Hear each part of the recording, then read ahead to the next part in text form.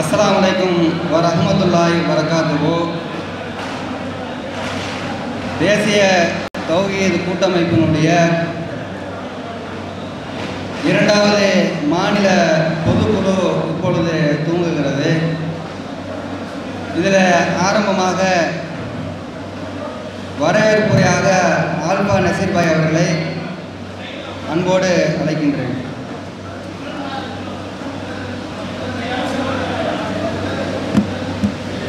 Assalamualaikum warahmatullahi wabarakatuh. அளவற்ற அருள்பாளன் நிகரற்ற எல்லாம் அல்ல அல்லாவின் மாபெரும் பேருமையினால்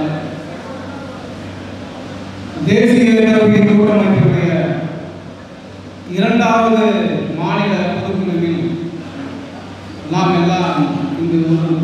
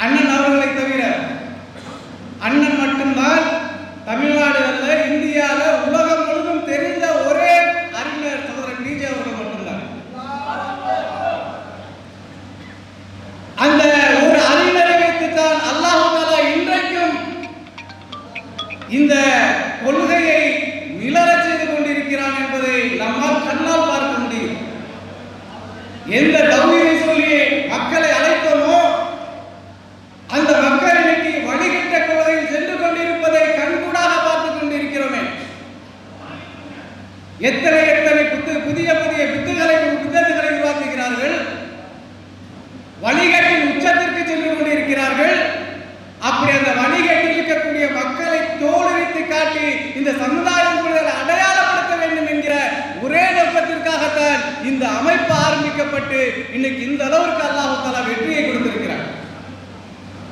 யோசிச்சு பாருங்க.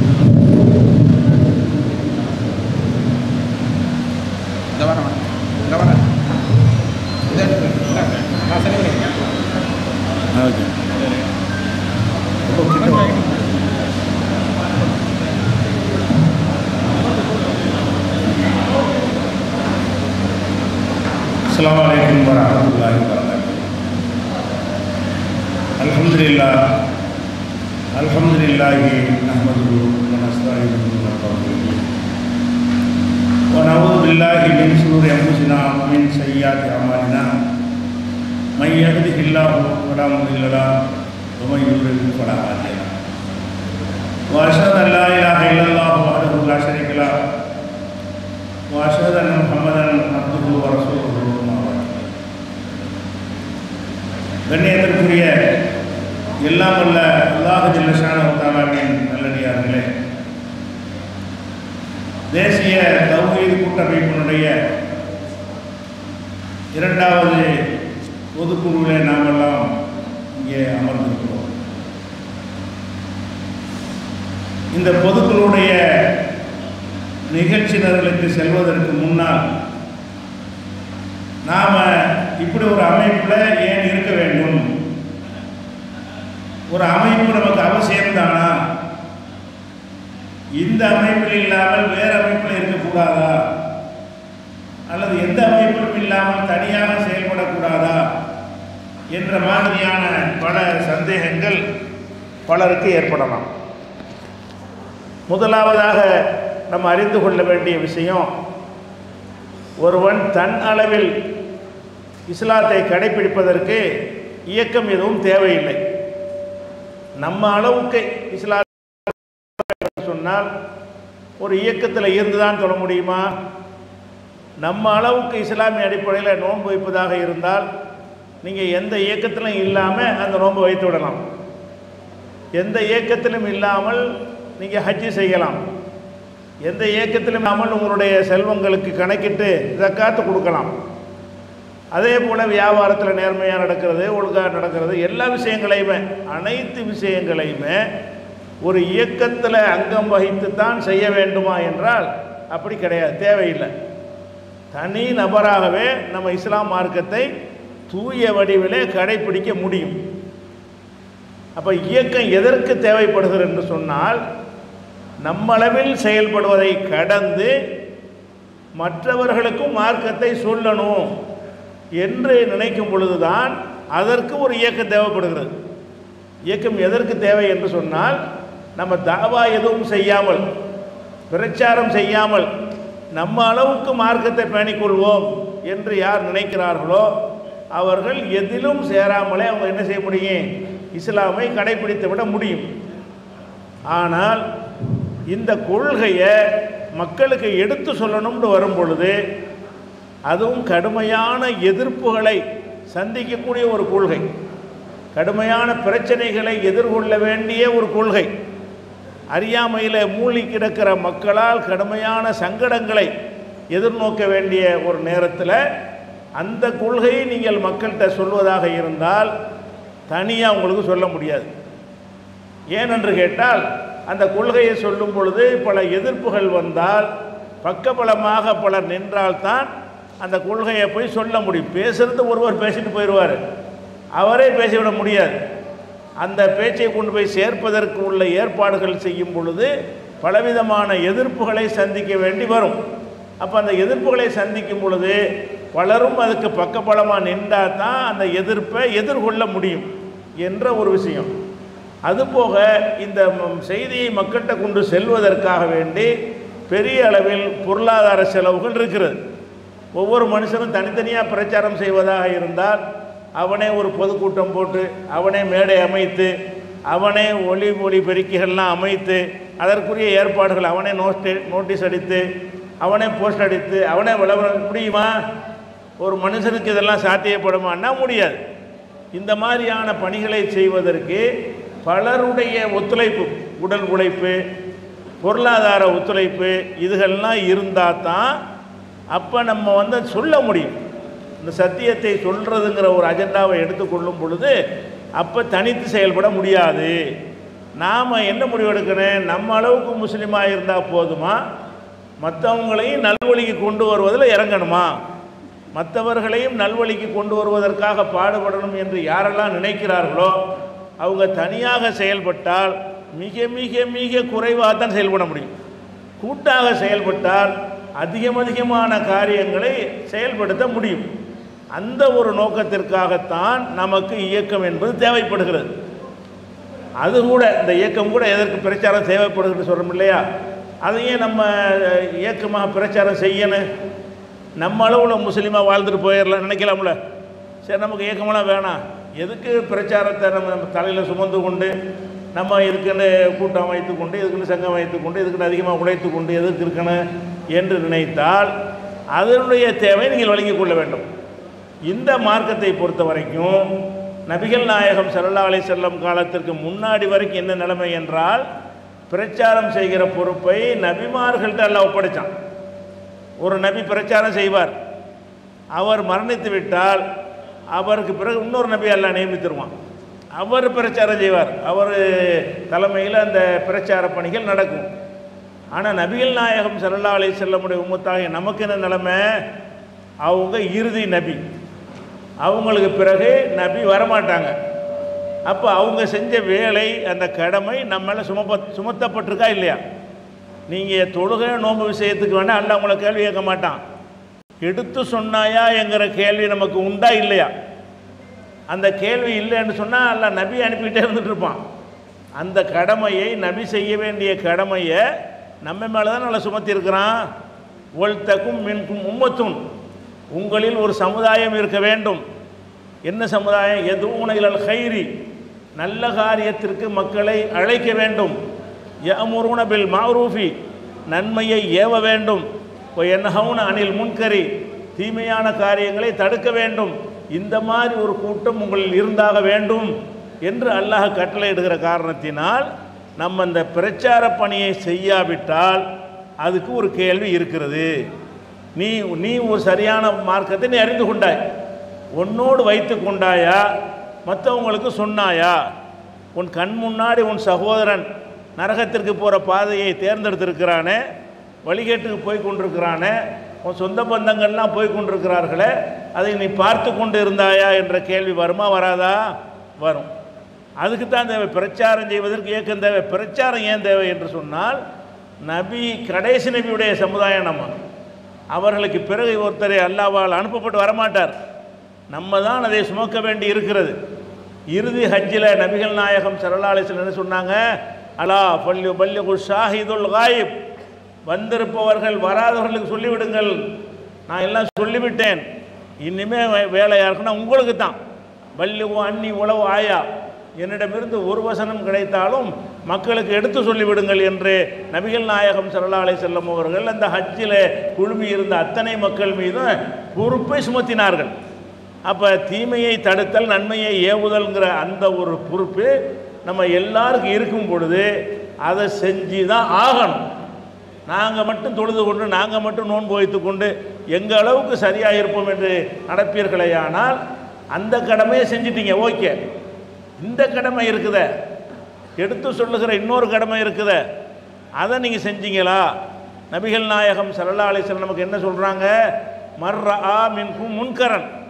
உங்களில் யாராவது தீய செயலை கண்டால் கண்ணு முன்னாடி தீமை நடக்கிறது. சிறுக்கு பிதத்து அனாச்சாரம் வழிபாடு எல்லாமே அழுக்கியத்தனங்கள்லாம் கண்ணு முன்னாடி நடக்கிறது. இந்த தீமையான காரியத்தை கண்டீர்களேயானால் பள்ளி கையுருகு எதுகி எதிகி உங்கள் கையினால் போய் தடுங்க. கையினால் தடுங்கன்னா என்ன அர்த்தம்? சக்தி மட்டும் இருந்துச்சு என்று சொன்னால் மயக்க பிடிக்கிறது நம்ம வேலை கிடையாது. கையை கொண்டு தடுக்கணும் பலத்தை கொண்டு தடுத்தே விட வேண்டும் அந்த செயலை. சக்தி இருந்தால் இப்போ இல்லம் எஸ்தத்தை அதுக்கு ஒருவருக்கு சக்தி இல்லை என்று சொன்னால் பபி லிசானிகி அவருடைய நாவினால் அந்த அந்த கா அந்த க- தீமையை தடுக்கட்டும். தீமை நடக்குது. ஒன்று கையால் தான் தடுக்கணும். நமக்கு ஏழலை நம்ம ரெண்டாம் கட்டத்தில் இருக்கிறோம். நமக்கு இயலவில்லை என்கிற காரணத்தினால் நாவால் தடுக்க வேண்டும். நாவு என்பதில் நாவு மைக்கு பேசுகிறது அடங்கு. எழுதுறது நோட்டீஸ் எல்லாமே அடங்கும். எல்லாமே அந்த கருத்தை சொல்வது தான் அதுக்கு அர்த்தம் அப்போ கருத்தை கருத்தால் உங்களுடைய எதிர்ப்புகளை பதிவு செய்யுங்கள். தீமையே தீமை என்று விளக்குங்கள். அதிலிருந்து மக்களை வந்து வென்று எடுங்கள். இவ்வளோ கருத்து அதில் அடங்கி இருக்கிறது. அதுக்கு முடியலை என்று சொன்னால் கண்ணு முன்னாடி தீமை நடக்கிற கண்டால் அதுக்கு முடியாத நேரத்தில் தான் பபி கல்விகி மனசால் வெறுத்து ஒதுங்கிட வேண்டும். இப்படி ஒரு நிலைமை உலகத்தில் எங்கேயுமே இல்லை. எல்லா உலகத்திலையும் கருத்து சுதந்திரம் இருக்கிறது பேச்சு சுதந்திரம் இருக்கிறது. சைனாவில் உள்ள ஒருத்தனுக்கு வேண்டுமானால் அந்த கடமை இல்லாமல் இருக்கலாம். ஏன்? நம்ம க கருத்தையும் சொல்ல இயலாது. வாயினாலையும் தடுக்க இயலாது. அவன் மட்டும்தான் இயற்கையில் வேண்டும். அந்த தாவா பணி எதுக்கு வேண்டும்? அது கடமை. தாவா பணி எதுக்கு தானே கடமை. இன்னும் சொல்ல போனால் இந்த தாவா பணியை நம்ம செய்யலைன்னா நம்மளையும் காப்பாற்றிக்கிற முடியாது. அதை விளைவிக்கிறோம் நீங்கள் உங்களவுக்கு அளவுக்கு தொழுது நோன்பு வைத்துக் கொண்டு இருப்பீர்கள். நம்ம ஒரு கொள்கையில் உறுதியாக இருக்க வேண்டும் என்று சொன்னால் அதை அடுத்த ஆளுக்கு சொல்லிக்கிட்டே இருந்தால் உறுதி கூடிக்கிட்டே இருக்கும். நீங்கள் தொழுகையுடைய அவசியத்தை சொல்லிக்கொண்டே இருந்தால் நீங்கள் தொழுகை விட மாட்டீங்க. நீங்கள் நோம்புடைய அவசியத்தை சொல்லிக்கொண்டே இருந்தீர்கள்னு சொன்னால் உங்களால் நோன்பை விட முடியாது. நீங்கள் தௌஹீதுடைய அவசியத்தை வந்து அடுத்தவங்களுக்கு சொல்லி கொண்டு இருந்தீர்களே ஆனால் உங்களுக்கு ஆழமாக அந்த நம்பிக்கை பதிஞ்சுக்கிட்டே இருக்கும். அப்போ நம்ம நம்முடைய தனிப்பட்ட முறையில் நம்ம செயல்படுவதை கூட உறுதியாக நம்ம செயல்பட நினைத்தால் நமக்கு என்ன வேணும் எடுத்து சொல்லணும். எடுத்து சொல்லுவதற்கு நமக்கு என்ன செய்யும்? நம்ம சொல்லிவிட்டு நம்ம மீறுறமே நமக்கு உறுத்தல் வரும். நம்ம எப்போ எடுத்து சொல்ல ஆரம்பி அது ஒரு கவசம். அது ஒரு கேடயம். நீங்கள் தாவா பணியில் இருந்தீங்க என்று சொன்னால் உங்களை அரசாங்கத்தில் சட்டம் போட்டு உங்களை தீமையை தடுக்க முடியாது. நீங்கள் தப்பான வழிக்கு போகக்கூடாது நீங்கள் தான் அரண் அமைச்சிக்கிறணும். என்ன அரண் அது நம்ம அடுத்தவங்களுக்கு சொல்லுவோம். சொன்னோம் என்று சொன்னால் நம்மளை வந்து தப்பாக போக விட மா எல்லாம் விட மாட்டான். மனுஷனும் விட மாட்டான். நீ என்னடா எங்களுக்கு சொல்லிட்டு நீ என்னடா மீறுகிறாய் என்று கேட்பான். அப்படிங்கிற ஒரு நிலைமை என்ன செய்யும்னு கேட்டால் நம்மளை கரெக்டான பாதையில் கொண்டு போயிட்டே இருப்பதற்கு இது தேவை. தாவா தேவை. தாவாவுக்கு ஒரு கூட்ட அமைப்பு தேவை. தாவா தேவை. தாவா செய்வதற்கு அதை சிறப்பாக செய்வதற்கு ஒரு ஒரு வலிமையான ஒரு அமைப்பாக நம்ம செயல்படுவது அவசியம் என்பதை ஒன்று விளைவிக்கணும். இரண்டாவதாக இந்த அடுத்தவருக்கு எடுத்து சொல்கிற தாவா பணி இருக்கு இல்லையா? அடுத்தவருக்கு எடுத்து சொல்வது என்பதில் ரெண்டும் சேரும். காபியர்களுக்கு இஸ்லாத்தை சொல்வதும் சேரும். பெயர் தாங்கி முஸ்லீம்களுக்கு உண்மையான இஸ்லாத்தை எடுத்து சொல்வதும் சேரும். அப்போ ரெண்டு விதமான தவா பணியையும் செய்வதாக இருந்தால் இதை செய்ய தவறணும் என்று வைங்க. நல்லா கடமையாக்கின குற்றத்தை மீறணும் அது ஒரு விஷயம். நம்முடைய உறுதிப்பாடு குறையிற ஒரு விஷயம். ஆனால் அதை எடுத்து சொல்லிக்கிட்டே வந்தோம் என்று சொன்னால் அதில் கிடைக்கிற இன்னொரு நன்மையை நீங்கள் பார்க்கணும். எடுத்து சொல்ல எடுத்து சொல்ல உங்களுக்கு நாலேஜ் அதிகரிக்கும். கல்வி கல்வியாளர்களுக்கு அல்லாட்ட பெரிய தரஜா இருக்குது. ஹல் எஸ்தவில்லதீன யாழமுன வல்லதீன லா யாழமும் அறிந்தவர்களும் அறியாதவர்களும் சமமாவார்களா? அல்ல கேட்குறான் அறிந்தவர்களும் அறியாதவர்களும் சமம் கிடையாது. எர்ஃபா இல்லா உள்ளதீன ஆமுனுமின்கும் உள்ளதீன ஊத்துல இல்ம தரஜாத். உங்களில் மூமீன்களுக்கும் கல்வி கொடுக்கப்பட்டவர்களுக்கும் அல்லாஹ் பல படித்தரங்களை உயர்த்துகிறான். அப்போ கல்விமான்களுக்கு படித்தரங்களை உயர்த்துகிறான். கல்விமான்டா என்ன ஏழு வருஷம் படிக்கிறதா? இல்லை. மார்க்கத்தை தேடி தேடி அறிந்து கொள்வதெல்லாம் கல்விமான்கள் தான். எப்போ தேடுவீங்க? சொன்னால் தேடுவீங்க.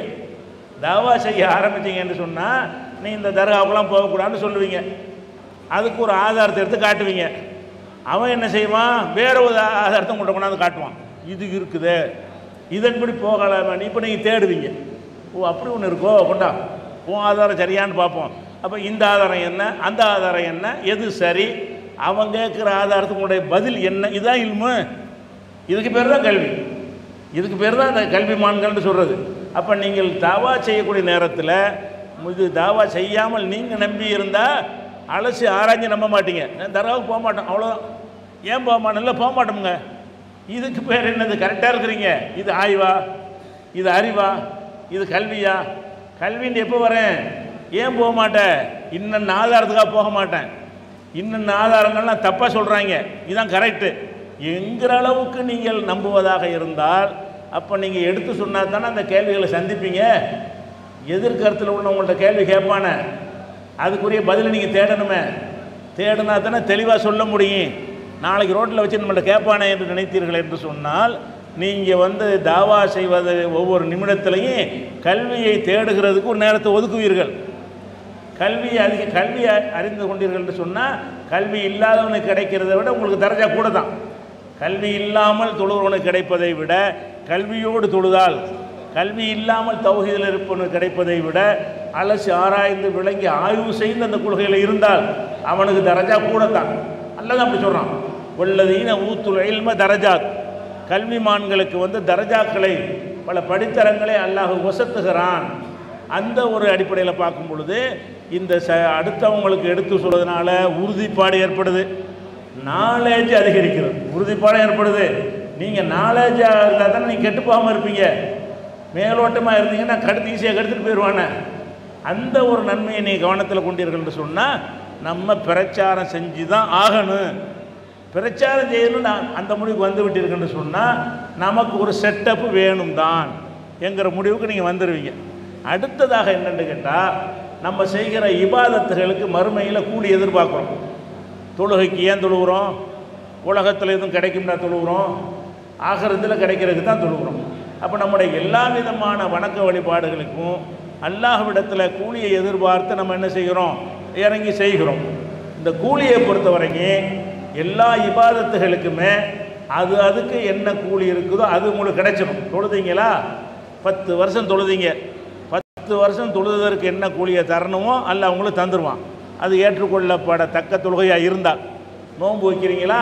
அதற்குரிய கூலி எல்லாம் தந்துடுவான் ஜக்காத்து கொடுக்குறீங்களா? அதற்குரிய கூலி எல்லாம் தருவான். அதே நேரத்தில் அடுத்தவருக்கு சொன்னீங்கன்னு வைங்க. அடுத்தவருக்கு பிரச்சாரம் பண்ணீங்கன்னு வைங்க. அப்போ என்ன கிடைக்கும்னு கேட்டால் உங்கள் பிரச்சாரத்தை கேட்டு எத்தனை பேர் மாறினானோ எத்தனை பேர் வாழ்க்கையில் வந்து தெளிவு ஏற்பட்டதோ அவன் செய்கிற அமல்களுக்கு உங்களுக்கு பங்கு வருது. ஒரு ஆளுடைய அமல் கூலிக்கு பதிலாக ஆயிரம் பேருடைய அமலில் உங்களுக்கு கூலி கிடைச்சா எவ்வளோ கூலியாக இருக்கும்? நம்ம அமலை கொண்டு வெற்றி பெறுவது சந்தேகத்துக்குரியது. நம்ம அமலை கொண்டு மட்டும் வெற்றி பெறுவது வந்து சந்தேகத்து உறுதியானது கிடையாது. பத்தாமல் போயிடலாம். அதே நேரத்தில் ஒரு தொழுகை இல்லாத ஒரு பத்து பேரை நீங்கள் பிரச்சாரம் பண்ணி தொலை வச்சுப்பிட்டீங்க. அல்ல தப்பாக தொழுகிறான் சுண்ணத்துக்கு மாற்றமாக தொழுகிறான் ஏற்றுக்கொள்ளப்படாத முறையில் தொழுகிறான் நீங்கள் விலைக்கு சொல்லி சரியான முறையில் தொழக்கூடிய ஆக்கிட்டீங்கன்னா அவனுக்கு நன்மை கிடைக்குப்ப அவனுக்கு நன்மை கிடைக்கிற மாதிரி அந்த பத்து பேர் தொழுகையில் உங்களுக்கு நன்மை. அப்போ நீங்கள் ஒரு ஆள் தொழுகிறீங்க பதினோரு பேர் தொழுகையில் நன் பதினோரு ஆளாக இருக்கிறீங்க நீங்கள் ஒரு ஆள் அமல்களை பொறுத்த வரைக்கும் பதினோரு ஆளாகிடுறீங்க சரியா? அது மாதிரி சிறுக்கில் மூழ்கி கிடக்கிறான். சிறுக்கில் மூழ்கி கிடந்தால் அவனுக்கு என்ன ஏற்பன ஒரு அமலுக்கு கூலி கிடைக்காது. உலக இல்லை ஹபித்தானும் மாக்கானும் ஏம்பலும் அவங்க சிறுக்கு வைத்தார்கள் என்று சொன்னால் அவங்க நல்லறம் அழிஞ்சு போயிடும் அப்போ சிறுக்கு வைக்கிறான் தொழுகிறான் சிறுக்கு வைக்கிறான் நோன்பு வைக்கிறான். சிறுக்கு வைக்கிறான் ஹஜ்ஜிக்கு போகிறான் சிறுக்கு வைக்கிறான் ஜக்காத்து கொடுக்குறான். சிறுக்கு வைக்கிறான் நல்ல காரியம் செய்கிறான் இது எதுக்காச்சும் கூலி இருக்கா? அந்த சிறுக்கு எல்லாத்தையும் பாயசம் அழிச்சிரும் இந்த சிறுக்கு வந்து இவன் செய்கிற எந்த ஒரு அமலுக்கும் கூலி இல்லாமல் ஆக்கிவிடுது. அப்படி இருந்த ஒருத்தனுக்கு நீங்கள் போய் சொல்லி இது சிறுக்கு இதை செய்யாத தௌஹிதில் இரு. அல்லா மட்டும் வணங்கு என்று நீங்கள் பாடம் நடத்தி அவன் தௌஹீதுக்கு வந்துட்டான்னு வைங்க. இப்போ அவனுடைய எல்லா அமலும் கூலி அவனுக்கு கிடைக்குது இப்போ. அவனுக்கு மட்டுமா கிடைக்குது? உங்களுக்கும் கிடைக்குது. நீ அவன் அவன் வாழ்நாளில் செய்கிற எல்லா அமல்கள்லையும் உங்களால் தான் அவனுக்கு கூலி கிடைச்சிச்சு. நீங்கள் இந்த தௌஹீதை சொல்லாட்டி அவன் செருக்கலான இருந்திருப்பான். செருக்கில் இருந்த அமலுக்கெல்லாம் கூலியெல்லாம் போயிருக்குமே. அப்படின்னு வரும்பொழுது நீங்கள் இதை அடுத்தவருக்கு சொல்கிறதுனால என்ன கிடைக்குதுன்னு கேட்டால் அவன் செய்கிற நல்லறங்களை எல்லாம் ஏற்றுக்கொள்வான் இல்லையா? ஏற்றுக்கொள்ளக்கூடியதற்கு காரணமாக நீங்கள் இருந்தீங்க. அதனால ஒரு ஆயிரம் பேர் உங்களால் தௌஹீதுக்கு வந்தால் ஆயிரத்தி ஒரு ஆளுடைய நன்மை உங்களுக்கு கிடைக்கிறது. ஐம்பது பேர் உங்களால் ஏகத்துவத்துக்கு வந்தால் உங்களையும் சேர்த்து ஐம்பத்தி ஒன்றாயிடுறீங்க இருபது பேர் உங்களால் தௌஹீதுக்கு வந்தால் உங்களையும் சேர்த்து இருபத்தி ஒன்றாயிடுறீங்க அப்போ ஒத்த மனுஷன் பல பேருடைய நன்மையை அடைதல் என்பது எப்படிப்பட்ட பாக்கியம்? இத்தனை மடங்கு கிடைச்ச நம்ம வெற்றி மறுமையுடைய வெற்றி உறுதியாகுமே. அப்போ இதையெல்லாம் சிந்திச்சு பார்க்கும் பொழுது அப்போ இந்த நன்மையை சத்தியத்தை எடுத்து சொல்லுதல் என்கிற இந்த ஒரு பணி சத்தியத்தை எடுத்து சொல்லக்கூடிய இந்த ஒரு பணி கடமையாகவும் இருக்கிறது. அதிகமாக நன்மைகளை பெற்றுத்தரக்கூடியதாக இருக்கிறது அப்போ அதிக நன்மைக்கான வழியை விட்டுவிட்டு நாங்கள் சிங்கிளாக தனியாக நாங்கள் எங்கள் அளவுக்கு தொழுதுக்குறோம் அது எப்படி? அது கம்மி தானே உலகத்தில் அப்படி இருப்பீங்களா? ஆயிரம் ரூபா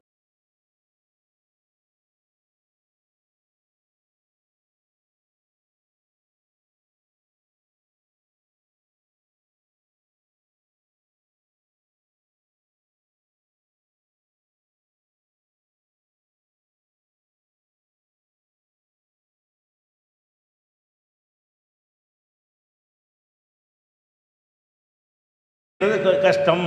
முடியாது. அதனால சேர்த்து செய்கிறோம் அதே மாதிரி இன்னொன்று நீங்கள் பார்க்கணும். இந்த சத்தியத்தை எடுத்து சொல்கிற விஷயத்தில் நம்ம வந்து பொறுப்பற்று இருந்து நம்ம அளவுக்கு இருந்துருவோம் என்று எப்போ இருக்க ஆரம்பிக்கிறோமோ அப்போ என்ன செய்யும்னா அதனுடைய தாக்கம் நம்மளையும் சேர்த்து அழித்து விடும். என்பதை நபிகள் நாயகம் சல்லா அலி செல்லம் அவர்கள் ஒரு உதாரணத்தின் மூலமாக நமக்கு சொல்கிறார்கள். இது பல சந்தர்ப்பங்களில் தமிழக கூட்டங்கள் எல்லாம் நீங்கள் அடிக்கடி கேட்ட ஒரு ஹதீஸ் தான் ஆதாரபூர்வமான செய்தி தான். நீங்கள் பரவலாக அறிந்து வைத்திருக்கிற ஒரு செய்தி. என்ன செய்தி? ஒரு கப்பலில் ஒரு பிரயாணம் பண்ணி போகிறாங்க கப்பலில் வந்து மேல் தளம் ஒன்று இருக்குது கீழ்த்தளம் ஒன்று இருக்குது. கீழ்த்தளத்திலையும் மக்கள் இருக்கிறார்கள். மாடியில் மேல் தளத்திலையும் மக்கள் போய்கிட்டு இருக்கிறாங்க. போய்கிட்டு இருக்கும் பொழுது அந்த பயன்பாட்டு தேவைகளுக்கு தண்ணீர் இருக்கு இல்லையா? அந்த தண்ணீரெல்லாம் மேல் தளத்தில் கொண்டாந்து வச்சுருக்கிறாங்க. பானையில் தண்ணின்னு வச்சுருப்பாங்கல்ல தேவையான தண்ணீர்கள்லாம் தண்ணி தேவைன்னு சொன்னால் கீழே உள்ளவங்களும் மேலே உள்ளவங்களும் மேலே தான் எடுத்துக்கிறணும். அப்படி அந்த கப்பல் செட்டப் இருக்குது இதை ரசூல்லா சொல்கிறாங்க அந்த உதாரணத்தை. அந்த செட்டப் இருக்கும் பொழுது கீழே உள்ளவன் என்ன நினைக்கிறான்னு கேட்டால் நமக்கு தண்ணி தேவைப்படும் போதெல்லாம் மேலே போக வேண்டியிருக்கு. எவ்வளோ கஷ்டம். ஒவ்வொருத்தரும் ஏறி ஏறிட்டு இறங்க வேண்டியிருக்கு. பேசாமல் கீழே ஒரு ஓட்டையை போட்டோம்னு சொன்னால் இருக்கிற கப்பல்லையே கீழே ஒரு ஓட்டையை போட்டோம்னு சொன்னால் அதில் தண்ணி வந்துட போகுது. அதை எடுத்து நம்ம கை கால் கொஞ்சம் கழுவிக்கிருவோம். அப்படின்ட்டு அவன் என்ன செய்கிறான் கீழே உள்ள அந்த குரூப் வந்து நினைக்கிறாங்க. நினைக்கும் போது மேலே உள்ளவன் என்ன செய்கிறான்னு கேட்டால் அவனுக்கு தெரியுது. இந்த மாதிரி பண்ண போகிறாங்க கீழே இந்த மாதிரி செய்ய போகிறாங்கன்னு யாருக்கு தெரியுது? மேலே போகிறவனுக்கு தெரியுது. அவன் பகுதி அவன் செய்கிறான். நமக்கு என்ன? என்று இருந்தால் ரசூல்லா கேட்குறாங்க என்று இருந்தால் அவன் மட்டும் அழிவானா? இவனும் அழிவானா? கீழே ஓட்டை போட்டு தண்ணி எடுத்தா நின்று தான் போயிடுவ? கீழே மட்டும் தனியாக மூழ்குமா? கப்பல் மூழ்கி போச்சுன்னா கீழே மூழ்குனா அப்புறம் மேலேயும் தான் மூழ்கி அப்போ கீழே வந்து ஓட்டை போட்டு அந்த கப்பலை வந்து டேமேஜ் பண்ணினானே ஆனால் அவனுக்கு புரிய வச்சு நானாச்சும் தண்ணி இறை கொண்டா தர்றேன்டா ஓட்டை போடாதான்னு சொல்லணுமா இல்லையா? உனக்கு மேலே வந்து எடுக்க உனக்கு சிரமமாக இருந்தால் சொல்லு. நானாச்சும் உனக்கு தேவைப்படும் போது கொண்டாந்து என்ன செய்கிறேன் இறங்கியாச்சும் தர்றேன். நம்மளை காப்பாற்றிக்கிறோம் முதல்ல. உன்னையும் காப்பாற்ற என்னையும் காப்பாற்றணும் அப்படின்னு சொல்லி நம்ம செய்யணுமா? அவன் பகுதி அவன் செஞ்சுட்டு போகிறாங்க எங்களுக்கு என்னங்க? எங்கள் பகுதி நல்லா இருக்குங்கன்னு சொன்னால் உங்கள் பகுதி அப்புறமேல அழி அழிச்சிருமா இல்லையா? இது இதே மாதிரி தான் நீங்கள் தீமை நடக்கும்போது பார்த்து கொண்டு இருந்தால் அவன் மட்டும் அழிய மாட்டான். நீங்களும் அழிவீர்கள்ங்கிறாங்க ரசூல் சல்லா அலிசனம் அழிகிறது அவன் மட்டும் அழிவான் அப்போ நம்ம கண்ணு முன்னாடி செருக்கு வித தானாச்சார வரதட்சணை என்னென்ன எல்லாம் நடக்குது? அவன் பாட்டு செஞ்சுட்டு போகிறாங்க அப்படின்னு இருந்தால் அழிவு வரும்போது உங்களுக்கு சேர்த்து தான் வரும். அல்லாவுடைய அதாபு இறங்கும் பொழுது உங்களுக்கு சேர்த்து தான் இறங்கும். அதை சொல்வதற்குத்தான் இந்த இந்த உதாரணத்தை ரசூல் சல்லா செல்லம் அவர்கள் காட்டுகிறார்கள். அப்போ ஒரு பத்து வீடுக்கு அப்பால் தீ பிடிக்குது. நம்ம வீட்டிலே பிடிச்சிருக்கணும் இருப்பீங்க? குடிசை வீடு பத்து குடிசை இருக்குது. பத்தாவது குடிசையில் தீ பிடித்து விட்டது. நீங்கள் பத்து குடிசைக்கு தள்ளி இருக்கிறீங்க. அவங்க குடிசைக்கு தீ பிடிக்க நமக்கு என்னன்னு இருந்தால் அடுத்து ஒம்பது எட்டு ஏழு உங்கள் வீட்டு வந்துடுமே கொஞ்சம் நேரத்தில் வந்துடுமே இப்போதைக்கு அவன் நாளைக்கு நம்ம. அப்படின்னு வ- அப்படிங்கிற அடிப்படையில் நம்ம சிந்திப்போம் எதையுமே. அதை போய் அணைக்க பாடுபடுவோம்ல. என் வீட்டுக்கு வரும்போது பார்த்துக்குறோன்னு சொல்லி நம்ம இருப்போமா? இருக்க மாட்டோம். அப்போ இந்த மாதிரி தான் தீமைகள் விஷயமாக நம்ம என்ன செய்யணும்? முடிவு எடுக்கணும். நீங்கள் தெருவில் சாராய கடையை திறந்து விட்டு சாராயம் குடிச்சிட்டு இருப்பான் பசங்கள்லாம். நம்ம குடிக்காமல் இருக்க நீங்கள் நினைப்பீங்க. அப்புறம் உங்கள் பையன் குடிச்சிருந்து ஆட்டம் போட்டு வரான் வீட்டுக்கு. ஏன்? அங்கே இருக்குது. நீங்கள் தடுக்கலை. அதை வந்து அவனை சேர்ந்தவங்க எல்லாம் போய் குடிக்கிறத பார்த்து என்ன செய்யுங்க? அந்த அந்த தாக்கம் உங்கள் குடும்பத்துக்குள்ளே வந்துடும் உங்கள் குடும்பத்தில் உள்ளவனே ஒருத்தன் குடியாரனா ஆயிடுவான் அப்போ அப்புறம் நீங்களே மாறிடும் அழகாக பார்த்தணும் அப்போ இந்த தீமைகள் நடக்கும் பொழுது தடுக்கணும் என்கிறது வந்து அது நன்மையும் தருகிறது கடமையாகவும் இருக்கிறது அது ஒரு கேடயமாகவும் இருக்கிறது. நம்ம தீமையின் பக்கம் விழுந்து விடாமல் தடுக்கக்கூடிய ஒரு கேடயமாகவும் இருக்கிறது. இவ்வளவு நன்மைகள் இருக்கிற காரணத்தினால நம்ம வந்து தனித்து செயல்படுவோம் எதுவுமே வேணாம் என்று இருந்தால் நம்ம நிறைய லாஸ் ஆகிடும் தொழுக நோம்பு நீங்கள் செய்யலாம். நிற்போமா உறுதியாக கடைசி வரைக்கும் இருப்போமா? சொல்ல முடியாது. தெளிவாக இருப்போமா? மார்க்கத்தை அறிஞ்சிக்கிறோமா நம்ம ஜெனரேஷனை அது மாதிரி நம்ம உருவாக்க முடியுமா? நம்ம சந்ததிகளையெல்லாம் அது மாதிரி உருவாக்க இயலுமான்னு பல விஷயங்கள் இருக்கு இல்லையா? அதில் எல்லாம் நமக்கு என்ன செஞ்சிடறேன் பின்னடைவாக போயிடும் அப்போ ஃபஸ்ட்டு நீங்கள் வழங்கினேன்னா தனிப்பட்ட ஒரு மனிதன் முஸ்லீமாக வாழ்வதற்கு இயக்கம் தேவையில்லை. நம்ம அப்படி இஸ்லாம் சொல்லவும் இல்லை. ஆனால் நபிகள் நாயன் கடைசி நபியாக இருக்கிறதுனால பிரச்சாரம் சுமத்தப்பட்டிருக்கிறது. தீமையை தடுக்கிற கடமை இருக்கிறது. அதுக்கு நன்மை இருக்கிறது. அது செய்யட்டு எல்லா கேள்வி கேட்பான் அப்படின்னு சொல்லி அப்படியான ஒரு விஷயமா இருக்குதுன்னு சொல்ல போனால் ஒரு சம்பவத்தை எல்லா குரானில் வந்து உதாரணத்துக்கு சொல்லி காட்டுறான். அந்த ஒரு உதாரணம் எனக்கு போதும். இந்த சனிக்கிழமை வாசிகள்னு சொல்கிறாங்கல்ல அசாபு சபுத்துண்டு. சனிக்கிழமை வாசிகள்னா என்ன? முந்தி ஒரு சமுதாயம் இருந்தாங்க. ரசுல்லா காலத்துக்கு முந்தி. அவங்களுக்கு வந்து இப்போ சனிக்கிழமை மீன்பிடி தொழில் பண்ணக்கூடாது இறைவனுக்கு வழிபடணும். நமக்கு வெள்ளிக்கிழமை ஜும்மா நேரத்துக்கு மட்டும்தான் நம்ம வியாபாரம் பண்ணக்கூடாது. மீதி நேரங்கள்லாம் பண்ணலாம். காலைல சுபுவில் நீங்கள் ஆரம்பித்து பாங்குசூர் வரைக்கும் நீங்கள் பண்ணலாம். தொழுகை முடிச்சோன்னு போய் கடையை திறந்துடலாம். அந்த சின்ன அரை மணி நேரம் முக்கால் மணி நேரம் தான் நீங்கள் என்ன செய்ய அல்லாவுக்காக ஒதுக்க வேண்டியது உங்களுக்கு கடமையாக இருக்கிறது. இந்த உம்மத்துக்கு அது. முந்தைய சமுதாயத்திற்கு ஒரு நாளையே அல்லாவுக்கு அர்ப்பணிச்சிடணும். சம்பாதிக்கக்கூடாது. சனிக்கிழமை அல்லாவுடைய நாள். வணக்க வழிபாடு செய்ய சம்பாதிக்காத. அவனுக்குள்ளே சம்பாத்தியம் கடல் ஓரத்தில் இருந்தான்.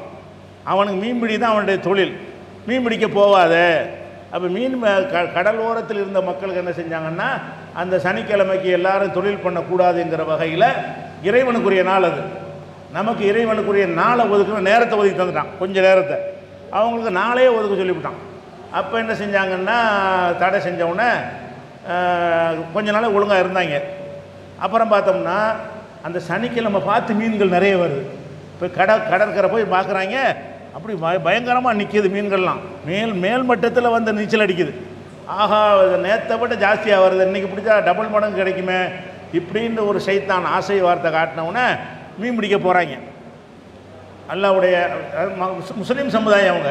அவங்கள தான் கட்டளை இட முடியும். அன்றைக்குள்ள முஸ்லீம் சமுதாயம். அன்றைக்கு இருந்த ஒரு முஸ்லீமான உம்மத்தவங்க முஸ்லீமான உம்மத்தாக இருந்து என்ன செய்கிறாங்கன்னா அல்லாவுடைய கட்டளையை விட நம்ம இன்றைக்கி மீன் ஜாஸ்தியாக கிடைக்கும். அப்படி அல்ல வேணும்னு செய்கிறான் தினசரி வர்றதை விட அன்றைய தினத்தில் வந்து சனிக்கிழமை மாத்திரம் அதிக மீன்களை கொண்டாந்து மேலே கூடி நிப்பாட்டி காட்டுறான். இவங்க எந்த அளவுக்கு உறுதியாக இருக்கிறாங்கன்னு பார்க்கறதுக்காக வேண்டி.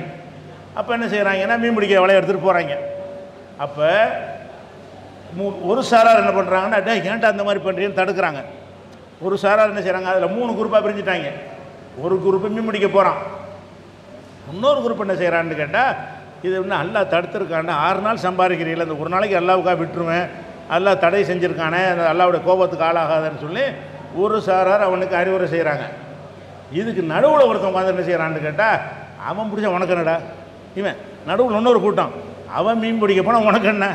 அவன் பாட்டுக்கு போகிறான் நீ உன் வேலையை பார்த்துட்டு போடா. அப்படிங்கிறான் இன்னொரு சாரார். கடைசியில் என்னவாச்சு? அல்லாவுடைய கோவப்பார்வை இறங்கி அழிக்கிறான்.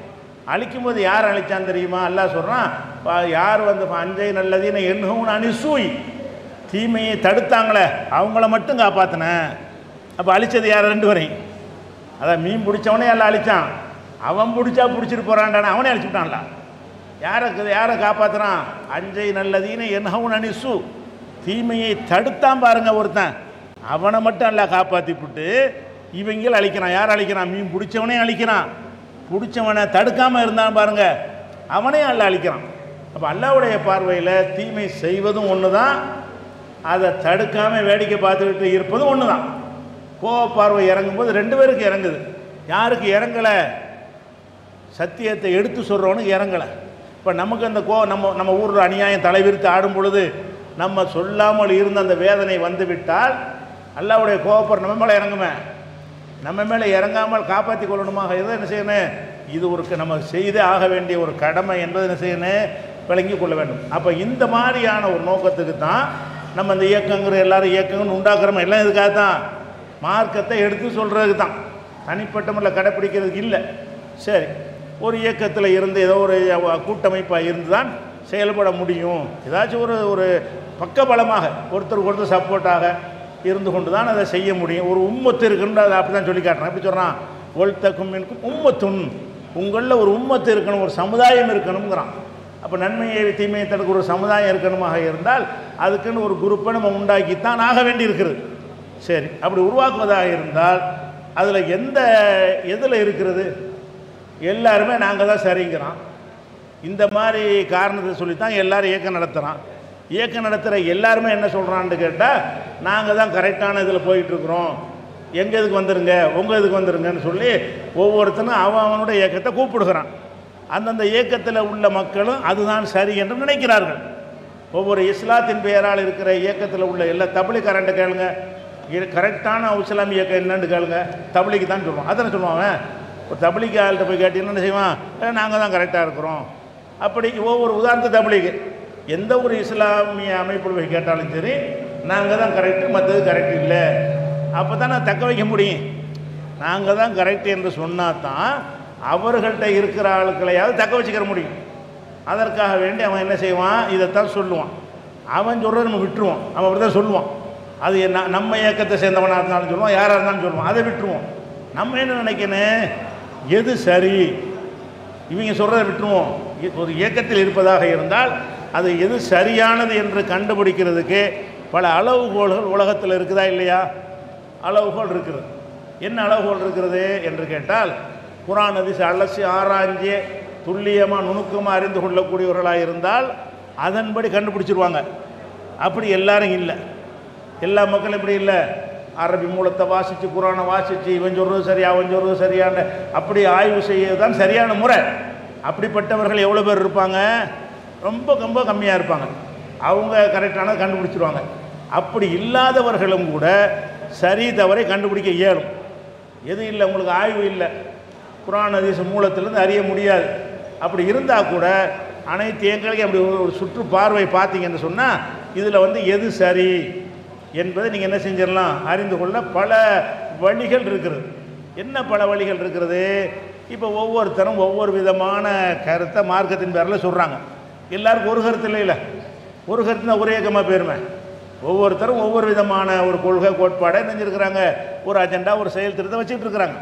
வச்சுக்கிட்டு இருக்கும்போது ஒவ்வொருத்தன் ஒவ்வொருத்தரும் நான் சொல்கிறதா சரி அடுத்தவன் சொல்கிறது தப்புன்னு சொல்கிறான்ல இப்படி சொல்லி மக்களை அழைத்துக்கிட்டு இருக்கிறான் அழைக்கும் பொழுது அப்போ அவன் வந்து என்ன செய்கிறான்னு கேட்டால் நீ தவ நீ சரியான மார்க்கம்னு சொல்கிறீல்ல அது குறித்து நாங்கள் எந்த கேள்வி கேட்டாலும் நீ பதில் சொல்லுவியான்னு நீங்கள் கேட்கணும். எல்லாத்தையும் கேட்கணும். நீங்கள் என்டிஎஃப்லையும் கேட்கணும். வேறு எந்த ஒரு இயக்கமாக இருந்தாலும் செய்யணும்? நீங்கள் ஒரு கருத்தை சொல்கிறீங்க இதுதான் சரி என்று நீங்கள் நினைத்தால் இது பற்றி நாங்கள் எந்த கேள்வி கேட்டாலும் ஆதாரத்தோடு உங்களுக்கு பதில் சொல்ல இயலுமா? அப்படின்னு கேட்குறீங்க கேட்டால் ஒரு இயக்கத்துக்காரன் சரிங்கிறானா நீங்கள் எந்த ஒரு இயக்கத்துக்காரன் எடுத்தாலும் சரி அவன்கிட்ட போய் மார்க்க சம்பந்தமாக என்ன கேள்வி வேண்டாலும் கேட்போம். நீ செய்கிறது தப்பாக ரைட்டாங்கிறதுக்கு எனக்கு ஆதாரம் கேட்போம். நீ ஆதாரம் தருவியா? அந்த கேள்விக்கு பதில் சொல்லுவியா? என்று கேட்டால் பதில் சொல்ல தயாராக இல்லை. பதில்லாம் சொல்ல மாட்டோம். நீ நம்புனா வா நம்பாட்டி போ என்று சொல்லக்கூடிய காட்சியை பார்க்குறோம் அப்போ நம் நம்ம என்ன சொல்கிறோம் தேசிய தௌஹீது கூட்டமைப்புங்கிற இந்த கூட்டமைப்புடைய கொள்கையை நம்ம என்னத்தை உலகத்துக்கு சொல்கிறோம் என்று கேட்டால் நாங்கள் ஒரு கருத்தை சொல்கிறோம் நாங்கள் சொல்கிறது தான் சரியாக இருக்குது நீங்கள் நம்ம கூட்டுத்தனமாக நம்ப வேணாம். ஆனால் நீ என்ன யோசிச்சு சிந்தித்து பார்க்கணும்? இவங்கள்ட்ட வந்து எந்த கேள்வி கேட்டாலும் பதில் சொல்கிறோம் என்று டிக்ளேர் பண்ணுகிறார்கள். இப்படி டிக்ளேர் பண்ணுற ஒரு அமைப்பு இருக்குதா? இப்போ நம்ம முன்னாடி பயணித்த ஒரு அமை- அவங்களும் தௌஹீத் தானே சொன்னாங்க. எவ்வளோ கொள்கையில் தடம் மாறிட்டாங்கங்கிற கொள்கையை நான் பட்டியல் போட்டு நான் சொல்கிறேன் அதுக்கு முன்னாடி அவங்கள்ட்ட போய் ஒருத்தர் கேள்வி கேட்டான்னு வைங்களேன். என்னங்க இந்த குர்பானி சம்பந்தமாக அப்படி இப்படி சொல்கிறீங்களாம்லான்னு கேட்டோம்னா நீ யார்? நீ என்டிஎஃப் என்டிஎஃப்னா காலி சொல்ல மாட்டேன். இது இதெல்லாம் வீடியோவில் மாநிலத்தின் பொறுப்பில் உள்ளவர்கள் சொன்ன ஒரு ஆன்சர் அப்போ மார்க்கத்துடைய கடமை என்ன? யார் மாற்று கொள்கையில் இருக்கிறான் அவனுக்கு தான் பதிலே சொல்லணும். இந்த தௌஹீதை எப்படி வளர்த்தோம்? தர்காக்காரன் கேள்விக்கு பதில் சொல்லி தான் வளர்த்தோம். மதகப்புக்காரனுடைய கேள்விக்கு பதில் சொல்லி தான் வளர்த்தோம். தரிக்காக்காரன் வந்து கேட்குற கேள்விக்கு பதில் சொல்லி தான் வளர்த்தோம். அப்போ இது வளர்த்ததை எதை கொண்டு வளர்ந்துச்சு என்று சொன்னால் தப்பான கொள்கையில் எதிரான கொள்கையில் யார் இருக்கிறானோ அவனுடைய கேள்விகளை சந்தித்து அவன் மனசில் உள்ள சந்தேகங்கள் எல்லாம் தீர்த்து எங்களை திட்டி கூட கேள்வி ஏறா என்று சொல்லி வாய்ப்பை கொடுத்து நம்ம அந்த மாதிரி சொல்வதனால தானே வளர்ந்துச்சு. இன்றைக்கு அப்படி வளர்த்த ஒரு அமைப்பு அதிலே நீடித்திருக்கும் என்று சொன்னால் இது நமக்கு தேவை கிடையாது. அந்த கொள்கையில் நீடித்திருப்பார்கள் என்று சொன்னால் அதுக்கு தேவை கிடையாது. மார்க்கத்தின் பெயரால் நிறைய தப்பு தப்பான ஒரு பத்து ரூபா கொடுக்குறாங்க. அது சம்பந்தமாக நாங்கள் ஒரு கேள்வி உங்கள்கிட்ட கேட்கணுன்னொன்னே நீ யார்? இது மார்க்கத்தில் உள்ளதா?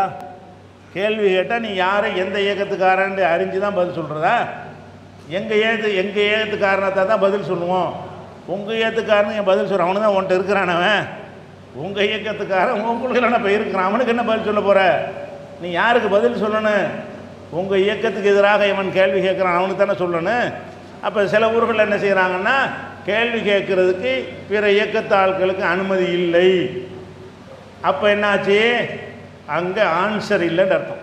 அதில் என்ன வழங்கினேன் அப்போ ஒரு அவன் சொல்கிற சரின்னு சொல்கிறான் சரியில் எனக்கு சந்தேகம் வருதுன்னு கேட்க போகிறோம் சந்தேகம் கேட்காது நீ கேட்கக்கூடாது உனக்கு சொல்ல மாட்டேன். உனக்கு கேட்க தகுதி இல்லை என்று சொன்னால் அப்போ நம்ம சிந்திச்சு பார்க்கணும் இது ஹக்கில் இல்லை. இவங்க ஹக்கில் இருக்கிற யாரும் இப்படி பேச இயலாது.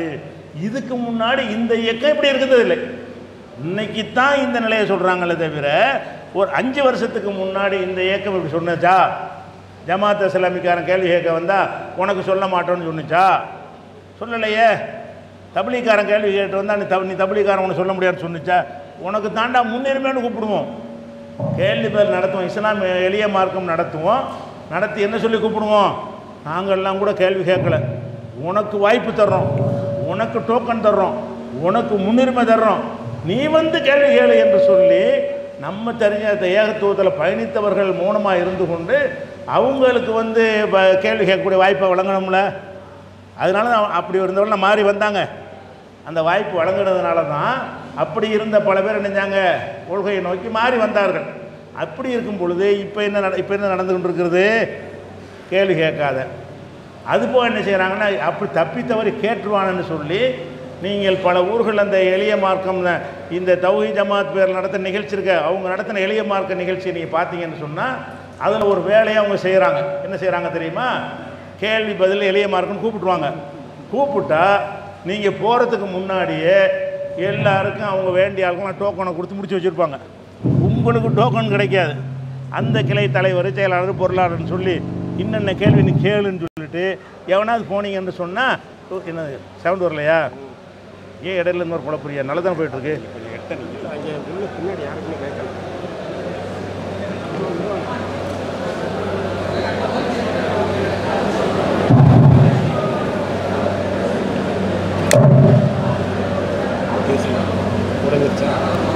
நிற்க கீழே வைக்க வைங்க வைங்க. விட்டுருங்க விட்டுருங்க விட்டுருங்க. கரெக்டாக இருக்குது கரெக்டாக இருக்குது விட்டுருங்க நக்கீம் பாய் உள்ள விட்டுருங்க கரெக்டாக இருக்குது விட்டுருங்களேன். அப்போ கேள்வி பதில் என்ற நிகழ்ச்சி ஏற்பாடு செய்து அவங்க கிளை தலைவர் பொருளாளர் செயலாளர் சொல்லி நீ இந்த கேள்வி கேட்டுன்னு சொல்லி நீங்கள் போய் கேட்டவுடனே டோக்கன் முடிந்து விட்டது. அதாவது யார் யார் கேட்டக்கூடாதான். கேள்வி கேட்கவும் செய்யணும் ஆனால் கேட்கவும் கூடாதுங்கிற இப்படி நடக்கும் பொழுது இந்த ஒன்றிலிருந்து இந்த ஒன்றிலிருந்து நீங்கள் உண்மையை வழங்க இயலுமா? இயலாதான் இந்த ஒன்றிலிருந்து இது வந்து உண்மையா இல்லையா? இது ஒரு அளவுகோல். அடுத்த ஒரு அளவுகோல் என்ன? இன்னொரு அளவுகோல் என்னவென்று சொன்னால் ஒருத்தர் ஒரு கொள்கையில் இருக்கார். நம்ம நம்ம வளர்ந்த வரலாறை நீங்கள் நினைத்து பார்க்க வேண்டும். இத்தனை வருஷ காலமாக எப்படி வளர்ந்தோம்? நாம் ஒரு கொள்கையை சொல்லுவோமா? எதிர்க்கத்தில் உள்ளவர்களை பகிரங்க விவாதத்துக்கு நம்ம அழைக்குவோம். எப்படி அழைக்குவோம்? நாங்கள் ஒரு கருத்து சொல்கிறோம்ல நீ வேறு கருத்து சொல்கிறீங்களா வா. நாங்கள் உட்காருவோம் அப்படின்னு சொல்லி எல்லா தரப்பினரும் விவாதத்துக்கு அழைச்சிருக்கிறோமா இல்லையா? அழைக்க மட்டுமா செஞ்சோம்? விவாதத்தை சந்திச்சோமா இல்லையா? காதியானிகளோட விவாதம் பண்ணோம் கிறிஸ்தவரோட விவாதம் பண்ணணும் பரலவிகளோட விவாதம் பண்ணணும் மதகபவாதிகள்கிட்ட விவாதம் பண்ணணும் தரிக்காவாதிகள்கிட்ட விவாதம் பண்ணணும் ஒரு ஒரு குரூப் விடாமல் நாத்திகர்கள்ட்ட விவாதம் பண்ணணும். யாரெல்லாம் நினைக்கிறோமோ அவங்க அத்தனை பேர்கிட்டையும் நம்ம நினைஞ்சிருக்கிறோம் விவாதம் பண்ணி இருக்கிறோம். அழைத்தும் இருக்கிறோம். விவாதம் பண்ணி இருக்கிறோம். இப்போ கூட எக்ஸ் முஸ்லீம்னு சொல்லி ஒரு குரூப்பு நாங்கள் இஸ்லாத்தை விட்டு வெளியேறிட்டோம்னு சொல்லி மார்க்கத்தை அறியாமல் சரியான மூடர்களாக இருந்து கொண்டு இஸ்லாத்தை பற்றி விமர்சிக்கிற பதிவுகள்லாம் பார்த்த பிறகு அவங்களுக்கு பகிரங்கமாக அழைப்பு கொடுத்துருக்குறோம். இப்போ நேரவாக பேசுவோம். நாத்திகர்களுக்கு அழைச்சிருக்கிறோம். வா இங்கே வந்து பேசுகிறான்னு சொல்லி. அப்போ எந்த ஒரு குரூப்பாக இருந்தாலும் அவங்களோட விவாதம் செய்வதற்கு நீங்கள் சரியாக இருந்தால் தான் நீங்கள் ஒரு நேர்வழியில் இருக்கிறீங்கன்னு மக்கள் அறிந்து கொள்வார்கள். அப்போ நீங்கள் சிந்திச்சு பார்க்கணும் இந்த மார்க்க சம்பந்தமாக இருந்துட்டு போதுங்க இருந்துட்டு போதுங்க இருந்துட்டு போதுங்க. விட்ருங்க கிரிக்கெட் ஒன்றும் செய்ய வேணாம் இருந்துட்டு போதுங்க அது லைவில் ஒழுங்காக போயிட்டு கொடுங்க ஒன்றும் எத்தனை தடவை தான் விளையாடிய மைக்கில் போட்டு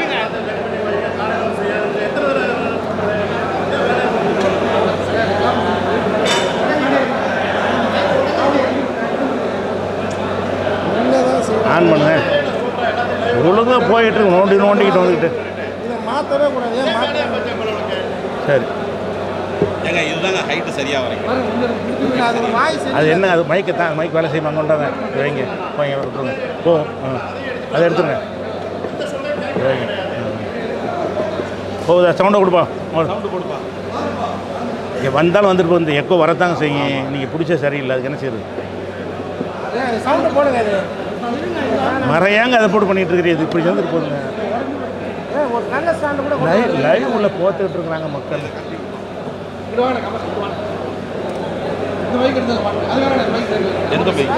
அப்போ அப்படி இரு- இருந்துட்டு போதுங்கிறல்ல அதோட. அதுவும் இருந்து போட்டுட்டு வச்சு வைங்க வைங்க. எது- எதையுமே எடுங்க. கொடுங்க ஒன்று வேணாம் ஒன்று வேணாம். நீ ஆன் பண்ணி கொடுப்பா. அப்போ மா மார்க்க சம்பந்தமாக நம்ம ஒரு கருத்தை சொல்லுகிறோம். வேணாம் ஒன்றும் செய்யணும் மாற்று கருத்தில் உள்ளவர்கள் ஆன் பண்ணுங்களேன். இல்லை இல்லை ஆன் பண்ண போயிருக்கிறாரு.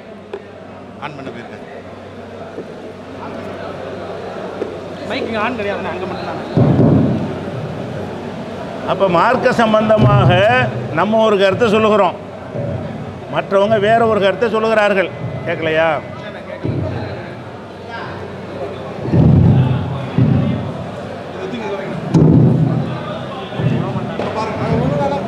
நல்லா தான் போய்கிட்டு இருந்தது நடுவில் வந்து போதும் விடுங்க நம்ம இது மட்டும் வருதானா போதும் வேறு எதுவும் வேண்டாம் இடையிலலாம் வந்து நோண்டாது யாரும்.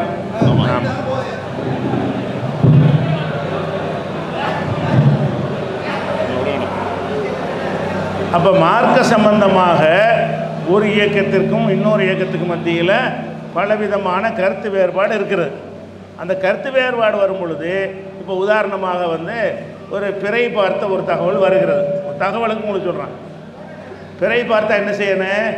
பிறை பார்த்த உடனே நோன்பு என்று முடிவு செஞ்சிடணும். பெருநாள் என்று முடிவு செஞ்சிடணும். ஆனால் அவங்க என்ன டிஎன்டிஜி என்ன செஞ்சாங்க? பிறையை பார்த்துட்டு நோன்பை விட்டுருங்க பெருநாள் ஒரு நாள் தள்ளி வச்சிருங்கன்னு சொன்னாங்க. இதை பற்றி விவாதம் பண்ண வர்றியா? நீ தப்பாக சொல்கிற மக்களை வழிகெடுக்கிறாய். இப்படி ஒரு நிலைப்பாடு மார்க்கத்தில் இல்லவே இல்லை. 72 கொடுத்தாலும் சொல்லாத ஒரு நிலைப்பாடு. பிறையை பார்த்துருவாங்கன்னா பிறை பார்த்ததுக்காக நீங்கள் பெருநாள் வந்துருச்சு நோம்பு விட்டு விடுங்கள். பெருநாள் நீ மறுநாள் கொண்டாடுங்கன்னு அறிவிச்சாங்களா? தௌஹீதில் போ பயணித்தவர்கள் அதை ஏற்றுக்கொண்டார்களா? அப்போ இது சரியான இது சரியில்லை. சரியில்லைன்னு டிக்ளேர் பண்ணுறோம் ஏன்ப்பா மார்க்கத்தை இப்படி கெடுக்குறீங்கன்னு சொல்லி. அப்போ வந்து மாதம் பண்ண போகிறோம் ஆய்வு செய்ய போகிறோன்னு சொன்னாங்க. ஆய்வு சொல்கிறோன்னு சொல்லி ஒரு ரெண்டு வருஷத்துக்கு பிறகு ஒரு கட்டுரை வெளியிட்டாங்க. கட்டுரை வெளியிட்ட பிறகு இதில் பாதி தான் செஞ்சுருக்குறோம். இன்னொரு பாதி இருக்குது. அதை முழுமையாக ஆய்வு செய்து பிறகு வெளியிடுவோம்னு சொன்னாங்க. வருஷம் நாளாகி விட்டது. இன்னும் ஆய்வு செஞ்சு வெளியிடலை. அப்போ மார்க்கம்ங்கிற பேரில் குற தௌஹீதுன்னு சொல்லி கொண்டு இப்படி தடம் மாறி கொண்டிருக்கிறார்களே அவங்கள விவாதத்துக்கு வாண்ட அழைத்தோம் என்று சொன்னால் விவாதத்துக்கு வர்றாங்களா? விவாதத்துக்கு வரல. இந்த ஜமாத்துடைய கொள்கை கோட்பாடை எதன் மீது நிறுவப்பட்டிருக்கிறது? சிறுக்கு விதத்துக்கு எதிராக இருக்கணும். குரான் சுன்னா மாத்திரம்தான் மார்க்கம். வகி மாத்திரம்தான் மார்க்கம். வகையில் இல்லாத எந்த ஒன்றையும் மார்க்கமாக்கக்கூடாது தானே இந்த கொள்கை. இந்த கொள்கை அடிப்படையில் தானே உங்கள் சொந்த பந்தங்களுடைய திருமணங்களில் விதத்தில் நடந்தால் கூட நீ கலந்துக்கிறல. உங்கள் சொந்த பந்தங்களில் கல்யாணம் நடக்கும். அள்ளி பயணகுமான்னு போதுமா அதுக்கு நீங்கள் போக மாட்டீங்க. ஏன் போகல? சொந்தம் இருந்தாலும் பரவாயில்ல போயிட்டு போகுது மார்க்கத்தில் இல்லாதவன் செய்கிறான் அல்லாவுடைய ரசூல் சொல்லாத ஒன்றை மார்க்கம் என்று செய்கிறான். அதை நான் ஏற்றுக்கொள்ள மாட்டேன். அப்படி தானே நீங்கள் இருந்தீங்க? இப்படி தானே வளர்த்திருக்கப்பட்டீங்க வரதட்சணமான கல்யாணத்துக்கு போக மாட்டேன். ஆடம்பர கல்யாணத்துக்கு போக மாட்டேன். விதத்துகள் நடக்கக்கூடிய ஜனாசாவில் கலந்து கொள்ள மாட்டேன் என்று தானே இதுவரைக்கும் சொல்லிட்டு இருந்தீங்க?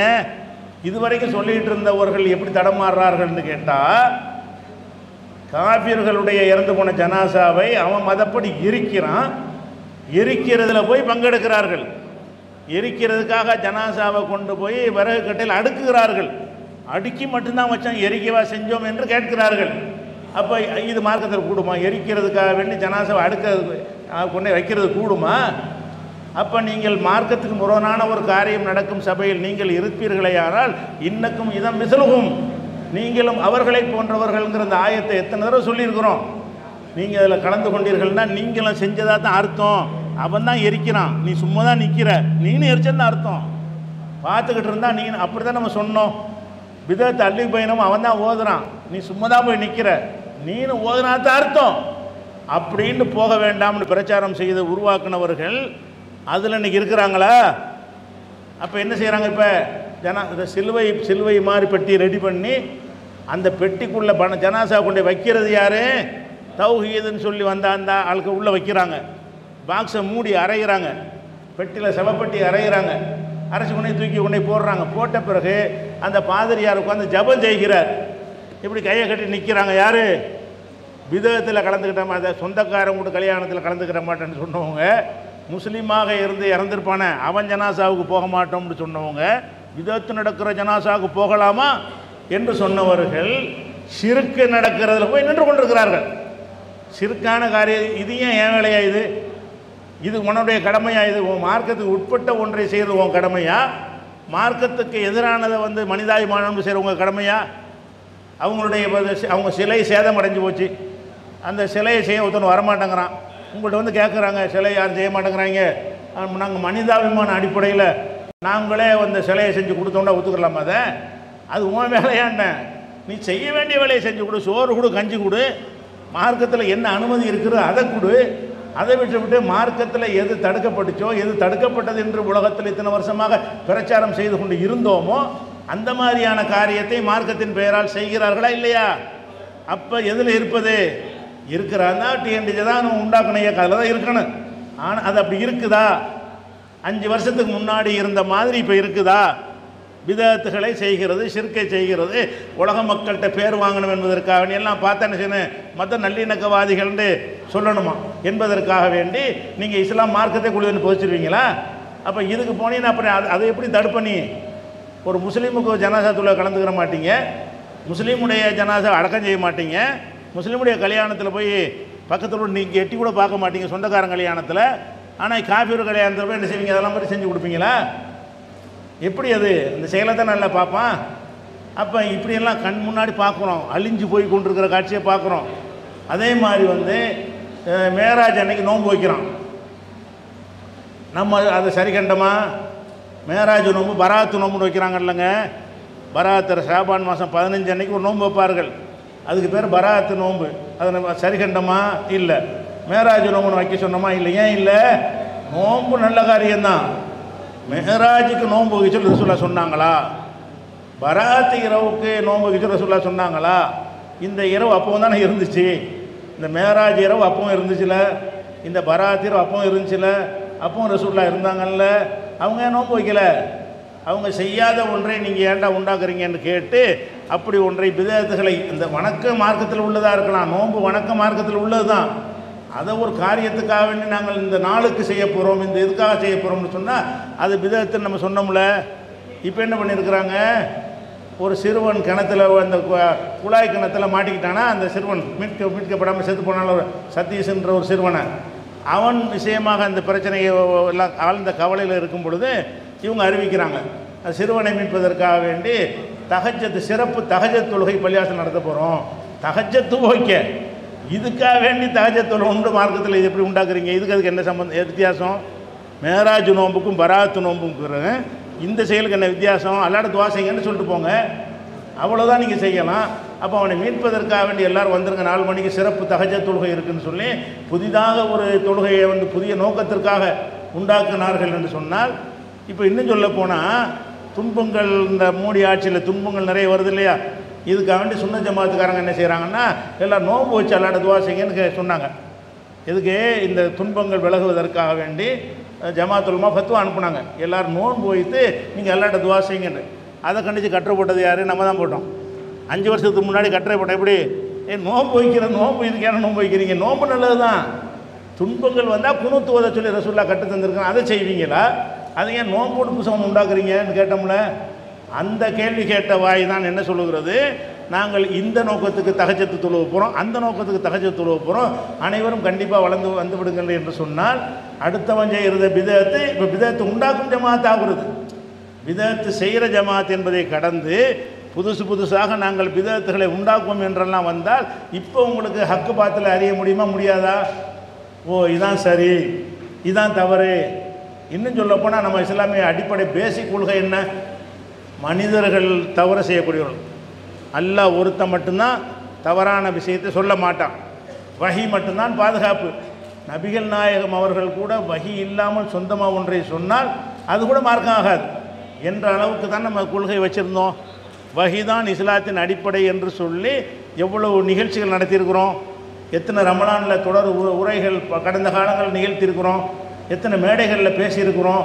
அப்போ அப்போ அப்போல்லாம் என்ன செஞ்சாங்க? எதிர் எதிர்க்கத்தில் உள்ளவங்க உங்களை விட சகாபாக்கள் மேலானவங்க சகாபாக்கள் தப்பு செய்வாங்களா? சகாபாக்களை நீங்கள் திட்டுறீங்களான்னு நம்மகிட்ட கேட்டாங்கல்ல. இப்போ என்ன பண்ணிட்டாங்க? தௌஹீதில் பயணித்தவர்கள் இப்போ நிலையை மாற்றிக்கிட்டாங்க சகாபாக்கள் எந்த தப்பும் செஞ்சதில்லை. சகாபி ஆகுறதுக்கு முன்னே தான் செஞ்சாங்களே தவிர சகாபி ஆன பிறகு செஞ்சது இல்லைன்னு மாற்றிட்டாங்கல்ல கொள்கையை. இதுக்கு இது இந்த கொள்கைக்கான நம்ம அடி வாங்கணும். இந்த கொள்கை இந்த கொள்கையை ஏற்றுக்கிட்டால் தான் எல்லா விதத்து வந்துருமா? இருவரை காத்து கூட தொழுவலாமே. ஏன்னா இருவரை காத்து சில சகாபாக்கள் தொழுதாங்கன்னு வருத. எல்லா விதத்தங்களையும் செய்யலாமே. எல்லா விதத்தையும் ஏதாச்சும் ஒன்று சஹாபி செஞ்சுருப்பாரு. அப்போ நம்ம எண்ணத்தில் இருந்தோம் சஹாபி செய்யட்டும் அபுபக்கர் சித்திக்கே செய்யட்டேன் மூணு தலா முத்தலாக்கு என்ற விதத்தை உம் உமர்லிலான்னு உண்டாக்கினார்கள். நம்ம ஏற்றுக்கிட்டோமா உமர் அவர் மூணு தடவை தலாக்கு சொன்னால் மூணு தலாக்கு என்று சொன்னார். ரசூல்லா இல்லைன்னு சொன்ன ஒரு விஷயத்த உமர் அவர்கள் ஆட்சியில் இருக்குண்டாக்குனாங்க நம்ம அதை ஏற்றுக்கிட்டோமா எது தானே பேசணும்? இப்போ என்ன நிலமை? சகாபாக்கள் தவறே செய்ய மாட்டார்கள். அவங்க அவங்க அவங்க தீர்ப்புக்கு மாற்றம் கிடையாதுங்கிற நிலைமைக்கு மாறிவிட்டார்கள்.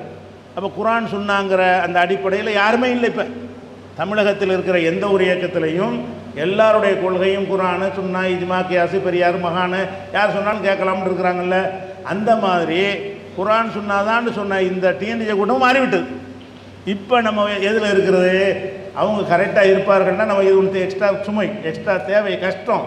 ஒரு அமைப்பை உண்டாக்கி மர்க்கஸை உண்டாக்கி எவ்வளோ சிரமம் இது? இது நமக்கு தேவையா? எதுக்காக இதில் இதில் எடுக்க வேண்டி இருக்கிறதே? சரியான பாதையில் போகாமல் தப்பான பாதைக்கு வழிகாட்டுகிறார்கள்.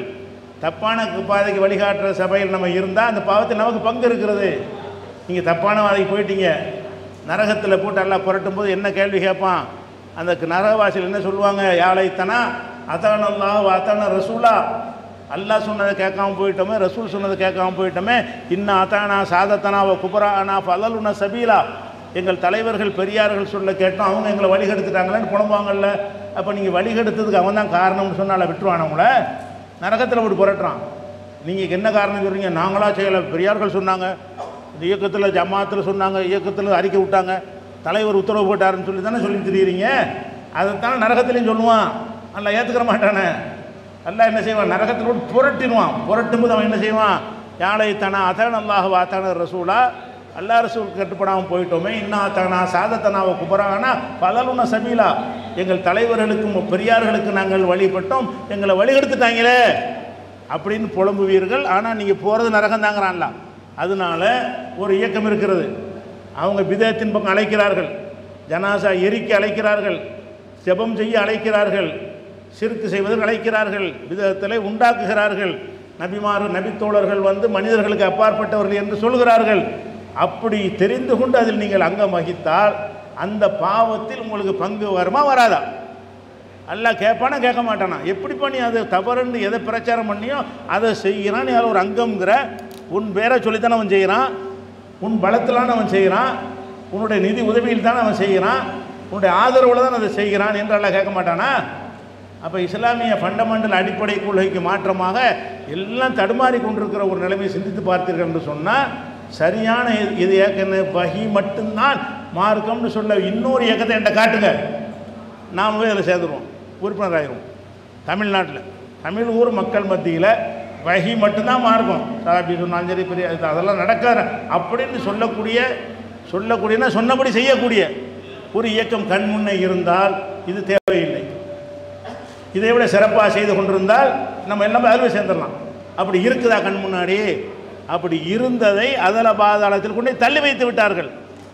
அதான் உண்மை. சத்தியம் செய்கிறது பொய் சத்தியம் செய்கிறது பேசுகிறதெல்லாம் பொய் மார்க்கத்தின் பேர் அப்புழுகிறது அதெல்லாம் தனியாக எடுத்தால் அது தனி டாப்பிக்காக போய்விடும்.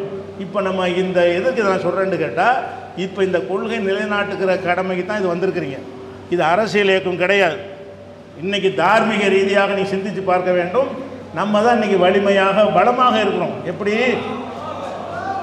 நம்பரை வச்சு இல்லை. எந்த கேள்வி கேட்டால் உங்கள்கிட்ட பதில் இருக்கு. இருக்கா இல்லையா? உங்கள் நோய் எந்த கேள்வி கேட்க வாட நான் பதில் சொல்கிறேன் நீங்கள் கேட்குற கேள்விகளுக்கு பதில் அங்கே இல்லை.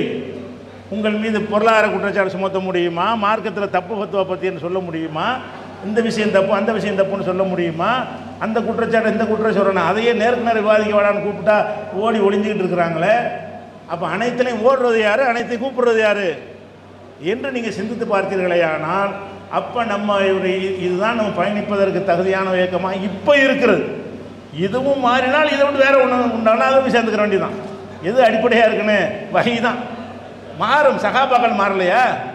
ரசுல்லாவால் உருவாக்கப்பட்ட சகாபாக்களை அவங்களுக்குள்ள வெட்டுக்குத்து நடக்கிற அளவுக்குலாம் மாறி போயிடலையா? நமக்கு இது மாறினா நம்ம சரியான தேர்ந்தெடுத்து போயிட வேண்டியதான் யார் மாறினாலும் எது மாறினாலும் நம்ம என்ன செய்யணும்? நபியால் உருவாக்கப்பட்டவர்கள் மத்தியில் சண்டை வந்துச்சா இல்லையா? போர் நடந்துச்சா இல்லையா? ஒட்டக போர் எதுக்கு நடந்துச்சு? சிஃபின் போர் எதுக்கு நடந்துச்சு? சாபாக்களுக்கு தான் நடந்துச்சு. அப்போ அந்த போர்கள் நடந்திருக்கும்போது நம்ம என்ன வழங்குறோம்? ரசூல்லா உருவாக்குனாலும் தெரிதான் அதுலேயும் மாற்றங்கள் வரும். அப்போ மனிதனாகி நாம் உருவாக்குனதில் மாற்றங்கள் வராதா? வரும்.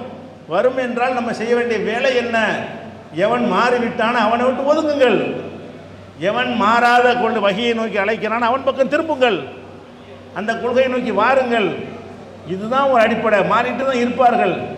அதனால் ரசூல்லா மூத்தா போனவன மூத்தா போகலேன்டாங்க பார்க்கலாம் அப்படி சொல்ல முடியுமா? நம்ம நீங்கள் சொல்லுவீங்களா?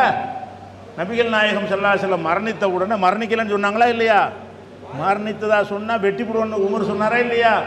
அப்படி தான் இருந்தாங்க. அப்புறம் தான் அபூபக்கர் சொல்லி சரி பண்ணி அவங்களை திருத்தி கொண்டு வந்தாங்க. அதனால் எந்த ஒரு கட்டத்திலையும் மக்கள் என்ன செய்வாங்க? மாறக்கூடியவர்களாக இருப்பார்கள். இயக்கங்கள் மாறும். நம்ம எதில் கவனமாக இருக்கணும்? சொல்கிற விஷயம் எங்கே சரியாக விஷயம் எங்கே சரியாக இருக்கு? அவ்வளோதான் சொல்கிறவன் யாருன்னு பார்க்காத. சொல்கிறவனை பார்க்குறத விட எவன் சொல்லக்கூடிய எந்த அமைப்பு சொல்லக்கூடிய விஷயம் கரெக்டாக இருக்கிறது? எந்த அமைப்பு சொல்லக்கூடிய பிரச்சார கருவில் வந்து வகி மாத்திரம் இருக்கிறது? வகியை தவிர வேற ஒன்றுக்கு இடமில்லாமல் யார் செய்து கொண்டு இருக்கிறார்கள் அப்படிங்கிற அடிப்படையில் என்ன செய்யணும்? அதை வழி நடத்தி கொண்டு போகணும் என்பதற்கு தான் இந்த கூட்டத்தை கூட்டியிருக்கிறோம். இப்போ நம்ம வந்தோம் இயக்கமாக வந்தோம் பொண்ணு போராட்டம் பண்ணோம் இடம் ஒதுக்கிட்டு அதெல்லாம் ரெண்டாம் பட்சம். உங்களுடைய முழு இலக்கு என்னவாக இருக்கணும்? நீங்கள் இனிமேல் சென்று எது வெற்றிடமாக இருக்கிறதோ எது அழித்து விட்டார்களோ எதை மாற்றி விட்டார்களோ எதிலெல்லாம் தப்பான வழியை காட்டி விட்டார்களோ அதிலிருந்து மக்களை மீட்பதற்காக வேண்டி தீவிர பிரச்சாரம் செய்து களத்தில் இறங்கினீர்கள் என்று சொன்னால் கண்டிப்பாக உங்களுக்கு என்ன செய்யுது அந்த அல்லாவுடைய கூலி கிடைக்கிறது. அட அவன் நேர்வழி பெற்றால் உங்களுக்கு கூலி கிடைக்குங்கிறோம்ல. அப்படியான ஒரு அஜெண்டாவுக்கு தான் உங்களுக்கு சிரமப்பட்டு செலவழித்து கஷ்டப்பட்டு வந்திருக்கிறீங்க. வேறு ஒருத்த அரசியல் கட்சி நடத்துறதுக்கு வரல. நம்முடைய அமலை பாதுகாத்து கொள்ளணும். நன்மையை அதிகரித்து கொள்ளணும். அடுத்தவன் செய்கிற அமல்லாம் நமக்கு பங்கு வரணும். கூலி ஜாஸ்தியாக கிடைக்கணும். என்ற நோக்கத்திற்கு நீங்கள் வந்தது உண்மையாக இருந்தால் இப்போ ஒரு சங்கற்பத்தோடு என்ன செய்யணும்? இந்த பொதுக்குழு முடியும் பொழுது ஒரு முடிவோடு போகணும். இனிமேல் வந்து நம்ம தூங்கிட்டு இருக்க முடியாது. அப்படிங்கிற அடி விஷயத்தை என்ன செய்யணும்? கவனத்தில் வைத்துக்கொள்ள வேண்டும். இன்ஷால்லா அடுத்தடுத்த அஜெண்டாக்கள் உங்களுக்கு எடுப்பாங்க. இது பின்னாடி போன தடவை பின்னாடி உரை நிகழ்த்த நேரம் இல்லாமல் போச்சு இல்லை. அதுக்கு முன்னுரைகள் எல்லாத்தையும் சொல்லியாச்சு. நேரம் கிடைச்சாலும் சரி கிடைக்காட்டாலும் சரி முன்னுரையில் என்ன செய்வோம்? அதை சொல்லி முடிச்சிருவோம். அடுத்தது என்னங்க? வர சொல்லுங்கள் அடுத்ததாக இந்த இதில் வந்து வரவு செலவு சம்பந்தமான அறிக்கை உங்களுக்கு தாக்கல் செய்யணும்னு சொல்லியிருக்கிறாங்க. அந்த போட்டிருக்கும் உங்களுக்கு அழைப்புதலில் இருக்கும். இந்த வரவு செலவு அறிக்கையை பொறுத்த வரைக்கும் அந்த அறிக்கையை வாசிக்கிறதுக்கு முன்னாடி ஒரு அடிப்படையை உங்களுக்கு நான் சொல்லி விடுகிறேன் என்ன அடிப்படைன்னு கேட்டால் நம்ம இந்த இந்த ஜமாத்தை பொறுத்த வரைக்கும் குறிப்பிட்ட சில பணிகள் நடத்தும் பொழுது அதுக்கு வந்து ஸ்பான்சர் வாங்கிடுவோம் உதாரணம் இந்த பொதுக்குள் நடத்துகிறோம் இந்த பொதுக்குழுவுக்கு ஜமாத்திலேருந்து காசு எடுத்து அதிலிருந்து இப்போ லட்சக்கணக்கில் வைத்துக்கொண்டு அதிலிருந்து செலவு பண்ணி கணக்கு காட்டுற அந்த பஞ்சாயத்தெலாம் கிடையாது. பொதுக்குழு வருதா? சாப்பாட்டுக்கு நீங்கள் ஏற்றுக்கிட்டீங்களா சரி. மண்டப செலவு நீங்கள் பொதுக்குழு செலவுல வரவு இந்த செலவுன்னு அது பொதுக்குழுவுடைய வரவுக்கு மட்டும் ஸ்பான்சர் பிடித்து பொதுக்குழு உதவும் முடிச்சிருவோம். அந்த மாதிரி முடிச்சிடுறோம். அப்படி ஃபண்டு வைத்து கொண்டு செலவழிக்கக்கூடிய ஒரு முறையை நம்ம கைக்கொள்ளவில்லை.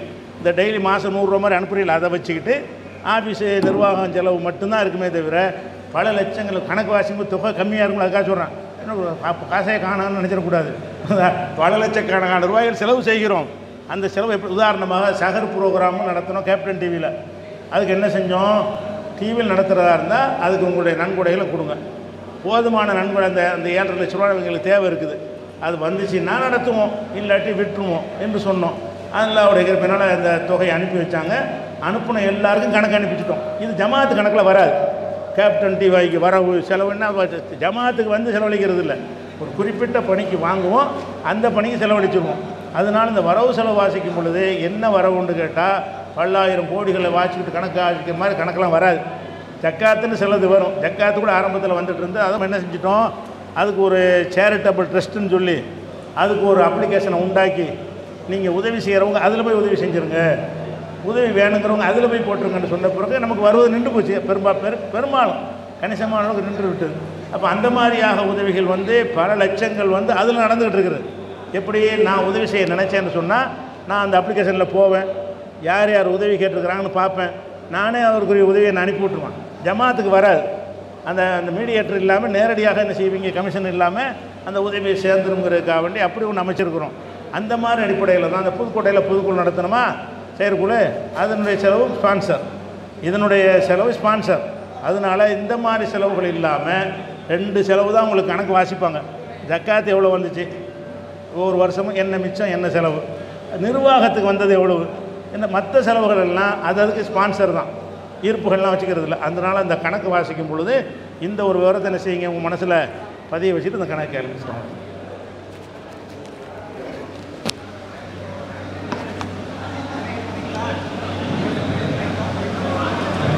அலமதுல்லா அல்ஹம்துலில்லாஹ் என்டிஎஃப்னுடைய நிறுவன தலைவர்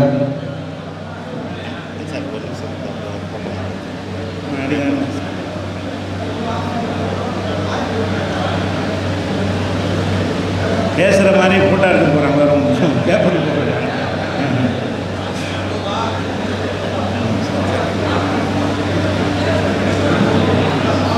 என்டிஎஃப்னுடைய நிறுவன தலைவர் சகோதரர் பிஜே அவர்கள் தாவா பணிகளுடைய முக்கியத்துவம் குறித்தும் குழுவாக செயல்படுவதனுடைய அவசியம் குறித்தும்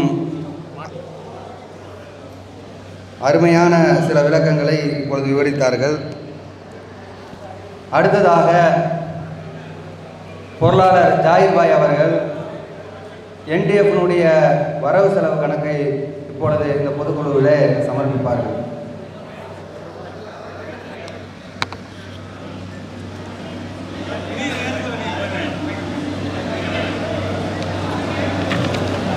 அஸ்ஸலாமு கடந்த ரெண்டாயிரத்தி பத்தொன்பது ரெண்டாயிரத்தி இருபது ஆண்டுக்கான ஜக்காத் எழுபத்தி ஆறு லட்சத்து ஐநூற்றி ஐம்பது ஐநூற்றி ஐம்பது ரூபாய். ஜக்காத் செலவு அறுபத்தி ஒன்றாயிரம் ரூபாய். மீதி இருப்பு பதினஞ்சாயிரத்தி ஐநூற்றி ஐம்பது ரூபாய். ரெண்டாயிரத்தி இருபது இருபத்தொன்று ஆண்டுக்கான ஜக்காத் முன்னிருப்பு பதினஞ்சாயிரத்தி ஐநூற்றி ஐம்பது. ரெண்டாயிரத்தி இருபத்தி இருபத்தொன்றுக்கான வரவு நாலு லட்சத்தி ஐம்பத்தி ஒம்பதாயிரத்தி எழுபது ரூபாய். மொத்த ஜக்காத் இருப்பு நாலு லட்சத்தி எழுபத்தி நாலாயிரத்தி அறுநூற்றி இருபது ரூபாய்.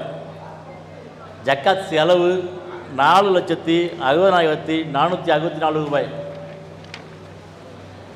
ஜக்காத் மீதி இருப்பு பதினாலாயிரத்தி நூற்றி ஐம்பத்தாறு ரூபாய். ரெண்டாயிரத்தி இருபத்தொன்று இருபத்தி ரெண்டாம் ஆண்டுக்கான ஜக்காத் வரவு மூணு லட்சத்தி ஐநூற்றி பத்து ரூபாய். செலவு மூணு லட்சத்தி எட்டாயிரம் எட்டாயிரம் ரூபாய். மீதம் கையிருப்பு ஆறு லட்ச ஆ- ஆறாயிரத்தி அறுநூற்றி அறுபத்தாறு ரூபாய். இது ஜக்காத் கணக்கு. அடுத்தபடி நிர்வாக செலவில் ரெண்டாயிரத்தி பத்தொம்பது ரெண்டாயிரத்தி இருபத்தி ஒன்று ஒன்றுக்கான மார்ச் அது ஏப்ரல் ஒன்று முதல் மார்ச் வகை மூணு லட்சத்தி அறுபத்தி நாலாயிரத்தி ஐநூற்றி முப்பத்தாறு ரூபாய் எழுபத்தி ஏழு காசு. செலவு மூணு லட்சத்தி எண்பத்தி ஒன்றாயிரத்தி ஐநூற்றி பதினெட்டு ரூபாய் இருபத்தி நாலு காசு. பற்றாக்குறையாக பதினாறாயிரத்தி தொள்ளாயிரத்தி எண்பத்தி ஒரு ரூபாய் நாற்பத்தி ஏழு காசு. ஏப்ரல் இருபத்தி ஒன்று ஏப்ரல் ஒன்று முதல் மார்ச் முப்பத்தி ஒன்று வரை. ஃபஸ்ட்டு வாசிச்சிங்களா ஆ. எழுபத்தஞ்சு லட்சமா இருபத்தஞ்சு ஆயிரம். எது? ஃபஸ்ட்டு ஃபஸ்ட்டு வாசிச்சிங்க ஆயிரம். நீங்கள் எழுபத்தஞ்சு லட்சம் சொன்னீங்க. எழுபத்தாறு ஆயிரம் இருபத்தஞ்சு லட்சம் அதான் ஃபோன் பண்ணி சொல்கிறாங்க. ஃபஸ்ட்டு ரெண்டாயிரத்தி பத்தொம்போது இருபதில் சின்ன ஒரு எழுபத்தி ஆறாயிரத்தி ஐநூற்றி ஐம்பது ரூபாய். லட்சம் அல்ல. அப்படியா? மைக்கில் முதல் முதல்ல முதல் முதல்ல-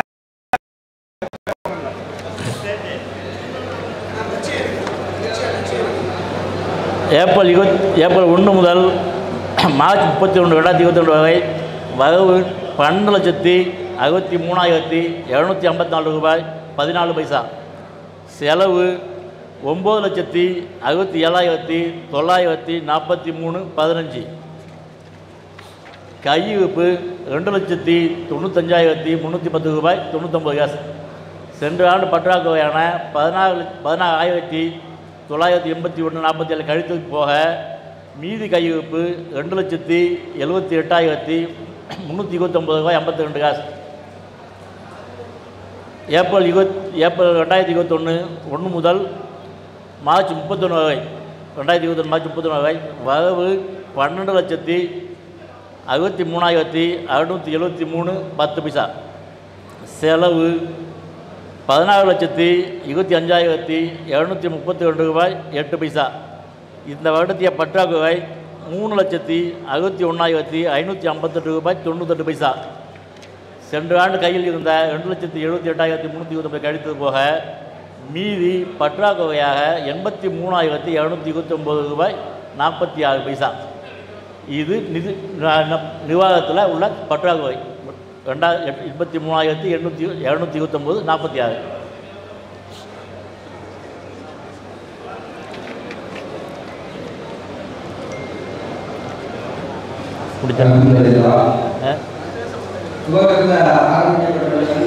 விளங்காதாங்க.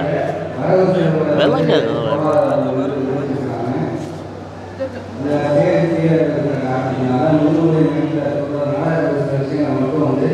காவல்துறை போயிட்டாங்க வந்து வந்து நசீப்படையா பண்ணிருக்காங்க நினைவுபடுத்தி போயிருக்காங்க யாருக்கு சந்தேகம் இருந்துச்சுன்னா வந்து அணுகி நீங்கள் பண்ணிக்கலாம் கேட்டுக்கொள்ளலாம் அதில் வந்து நிறுவனத்தில் சொன்னது மாதிரி வந்து ஜக்காத்துடைய விவரம் நிர்வாகத்தினுடைய வரவு செலவு மற்ற எல்லாமே வந்து ஸ்பான்சர் உண்டான விஷயங்கள் அதெல்லாம் அப்படியே வாங்கி செய்யப்பட்டுச்சு.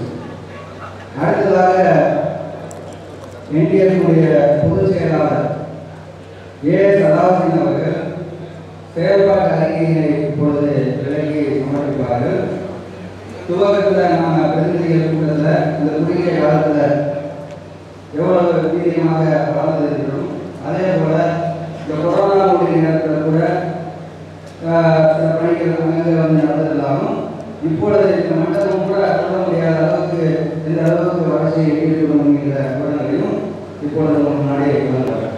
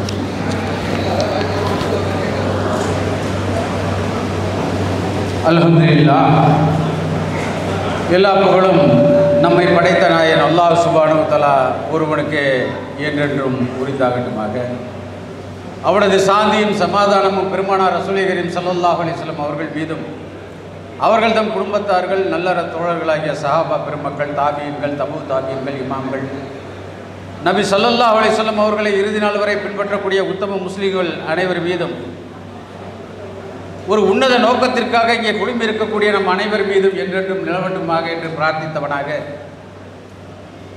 இந்த இரண்டாவது பொதுக்குழுவிலே நாம் எல்லாம் இங்கே திரளாக குழுமி இருக்கின்றோம்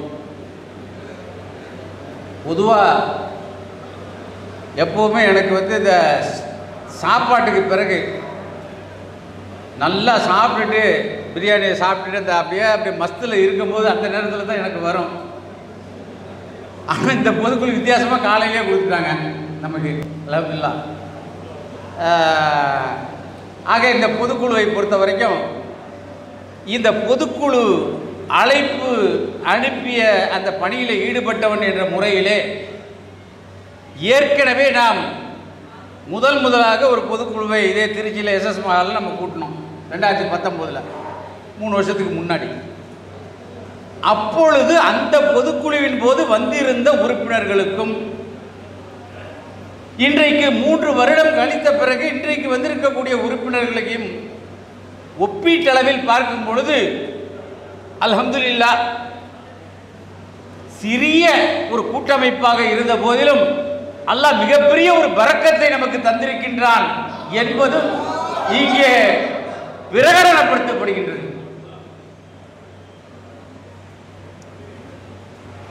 ஒரு தனிநபர் மீது இந்த தமிழகத்தினுடைய முஸ்லிம் வரலாற்றிலே தவிர்க்க முடியாத ஒரு சக்தியாக இருக்கக்கூடிய ஒரு நபரை அவதூறுகளை சுமத்தி கேவலப்படுத்தி அவமானப்படுத்தி தூக்கி வெளியே போட்டார்களே அநீதி இழைத்தார்களே அந்த அநீதிக்கு எதிராக தனிப்பட்ட பிஜே என்ற தனி மனிதனுக்காக அல்ல அவருக்கு இழைக்கப்பட்ட அநீதிக்காக அவருக்கு இழைக்கப்பட்ட அநியாயத்திற்காக முதன் முதலாக ராயபுரத்திலே ஒரு சின்ன ஒரு திருமண மண்டபத்திலே ஒரு கலந்துரையாடல் நிகழ்ச்சி நாம் செய்தோம்.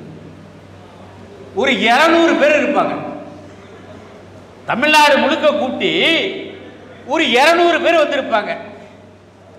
அந்த இருநூறு பேரை வச்சுக்கிட்டு தான் என்ன செய்யலாம்? எப்படி இதை கொண்டு போகலாம்? என்ன பேர் வைக்கலாம்? அப்படிங்கிற வந்து ஒரு ஆலோசனை நடக்கும் பொழுது தேசிய தௌஹீது கூட்டம் நமக்கு வந்து தனி அமைப்பு வேண்டாம். இயக்கமாக நாம் செயல்பட வேண்டாம். இயக்கம் என்ற பெயரால் கட்டமைப்புகளை உருவாக்கி மாநிலத்துக்கு அதிக அதாவது வானலாவிய அதிகாரத்தை வழங்கி அந்த மாநில நிர்வாகத்தின் கீழ் மாவட்ட நிர்வாக கட்டமைப்பை உருவாக்கி அந்த மாவட்ட நிர்வாக கட்டமைப்பு தனக்கு கீழே உள்ள கிளைகள் மீது ஆதிக்கம் செலுத்தி கிளைகள் கஷ்டப்பட்டு அவர்கள் ராவும் போலுமாக இரத்தத்தை வே- வியர்வையாக சிந்தி உழைத்து தங்களுடைய ஒரு ஊருக்கு தங்களுடைய பகுதிக்கு நபி வழியிலே தொழ வேண்டும் என்பதற்காக பள்ளிவாசல்களை உருவாக்க வேண்டும். அது நமது ஊர் மக்களுக்காக உருவாக்க வேண்டும். என்று அவர்கள் அரும்பாடுபட்டு ஒவ்வொரு ஊர் ஊராக பிச்சை எடுக்காத குறைன்னு சொல்லுவோம் இல்லையா? அந்த மாதிரி ஊர் ஊராக சென்று அந்த பள்ளிவாசல் நம்ம ஊரில் அமையணும் நாம தொழுவணும் அப்படிங்கிறதுக்காக வேண்டி பாடுபட்டார்களே. அந்த பள்ளிவாசல்கள் சுகமோகமாக இருக்கக்கூடிய மாநில நிர்வாகிகளுடைய ஆதிக்கத்திலே வளர்ந்து விட்டது இனி இப்படி ஒரு நிலை ஏற்படக்கூடாது. பள்ளிவாசல்கள் அல்லாவுக்காக உரியது. அந்த பள்ளிவாசல்கள் நபி வழியின் தொழுகைகள் நடத்தப்பட வேண்டும். நபி வழியை பின்பற்றக்கூடியவர்கள் நபி வழியை போதிக்கக்கூடியவர்கள் குரான் ஹதீஸை சொல்லக்கூடியவர்கள் அந்த பள்ளிவாசலை நிர்வகிக்க வேண்டும். அதை பிரச்சாரம் பண்ணக்கூடியவர்கள் நிர்வகிக்க வேண்டும்.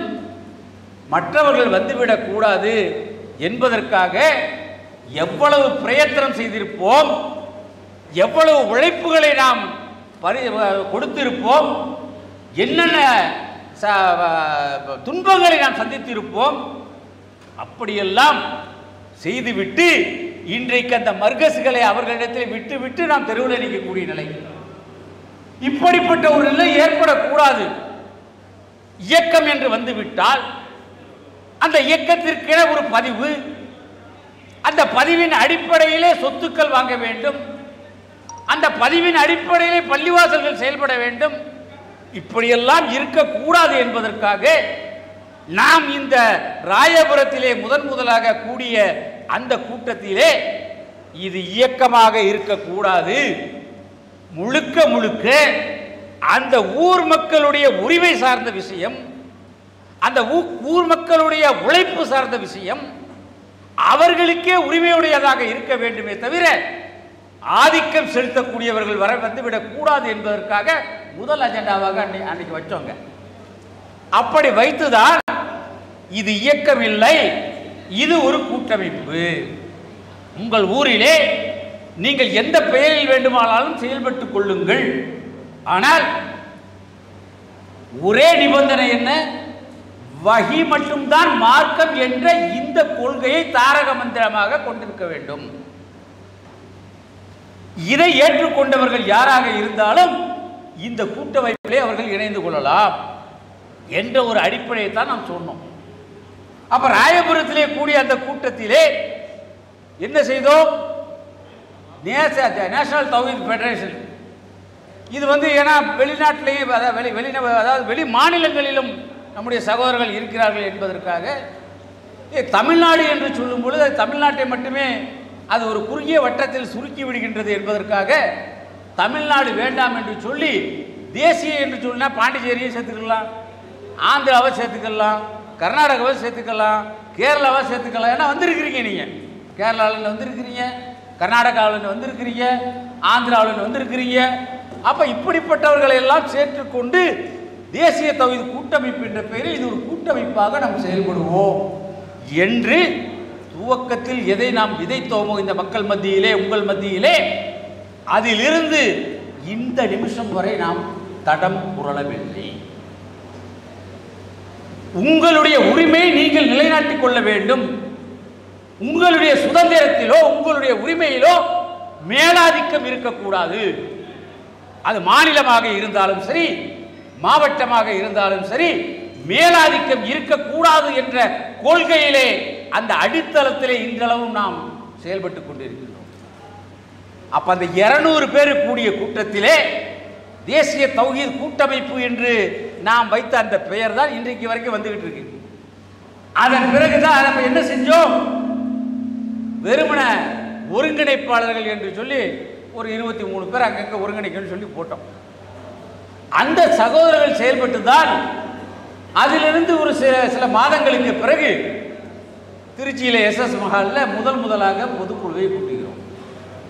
அந்த பொதுக்குழுவை கூட்டிதான் எல்லோருடைய அதாவது உங்களுடைய பொதுக்குழு உறுப்பினர்களுடைய அந்த அந்த கோரிக்கையின்படி தான் இது ஒருங்கிணைப்பாளர் என்று இருந்தால் அது சுவராசியமாக இல்லை. அது ஒரு மதிப்புமிக்கதாக இல்லை.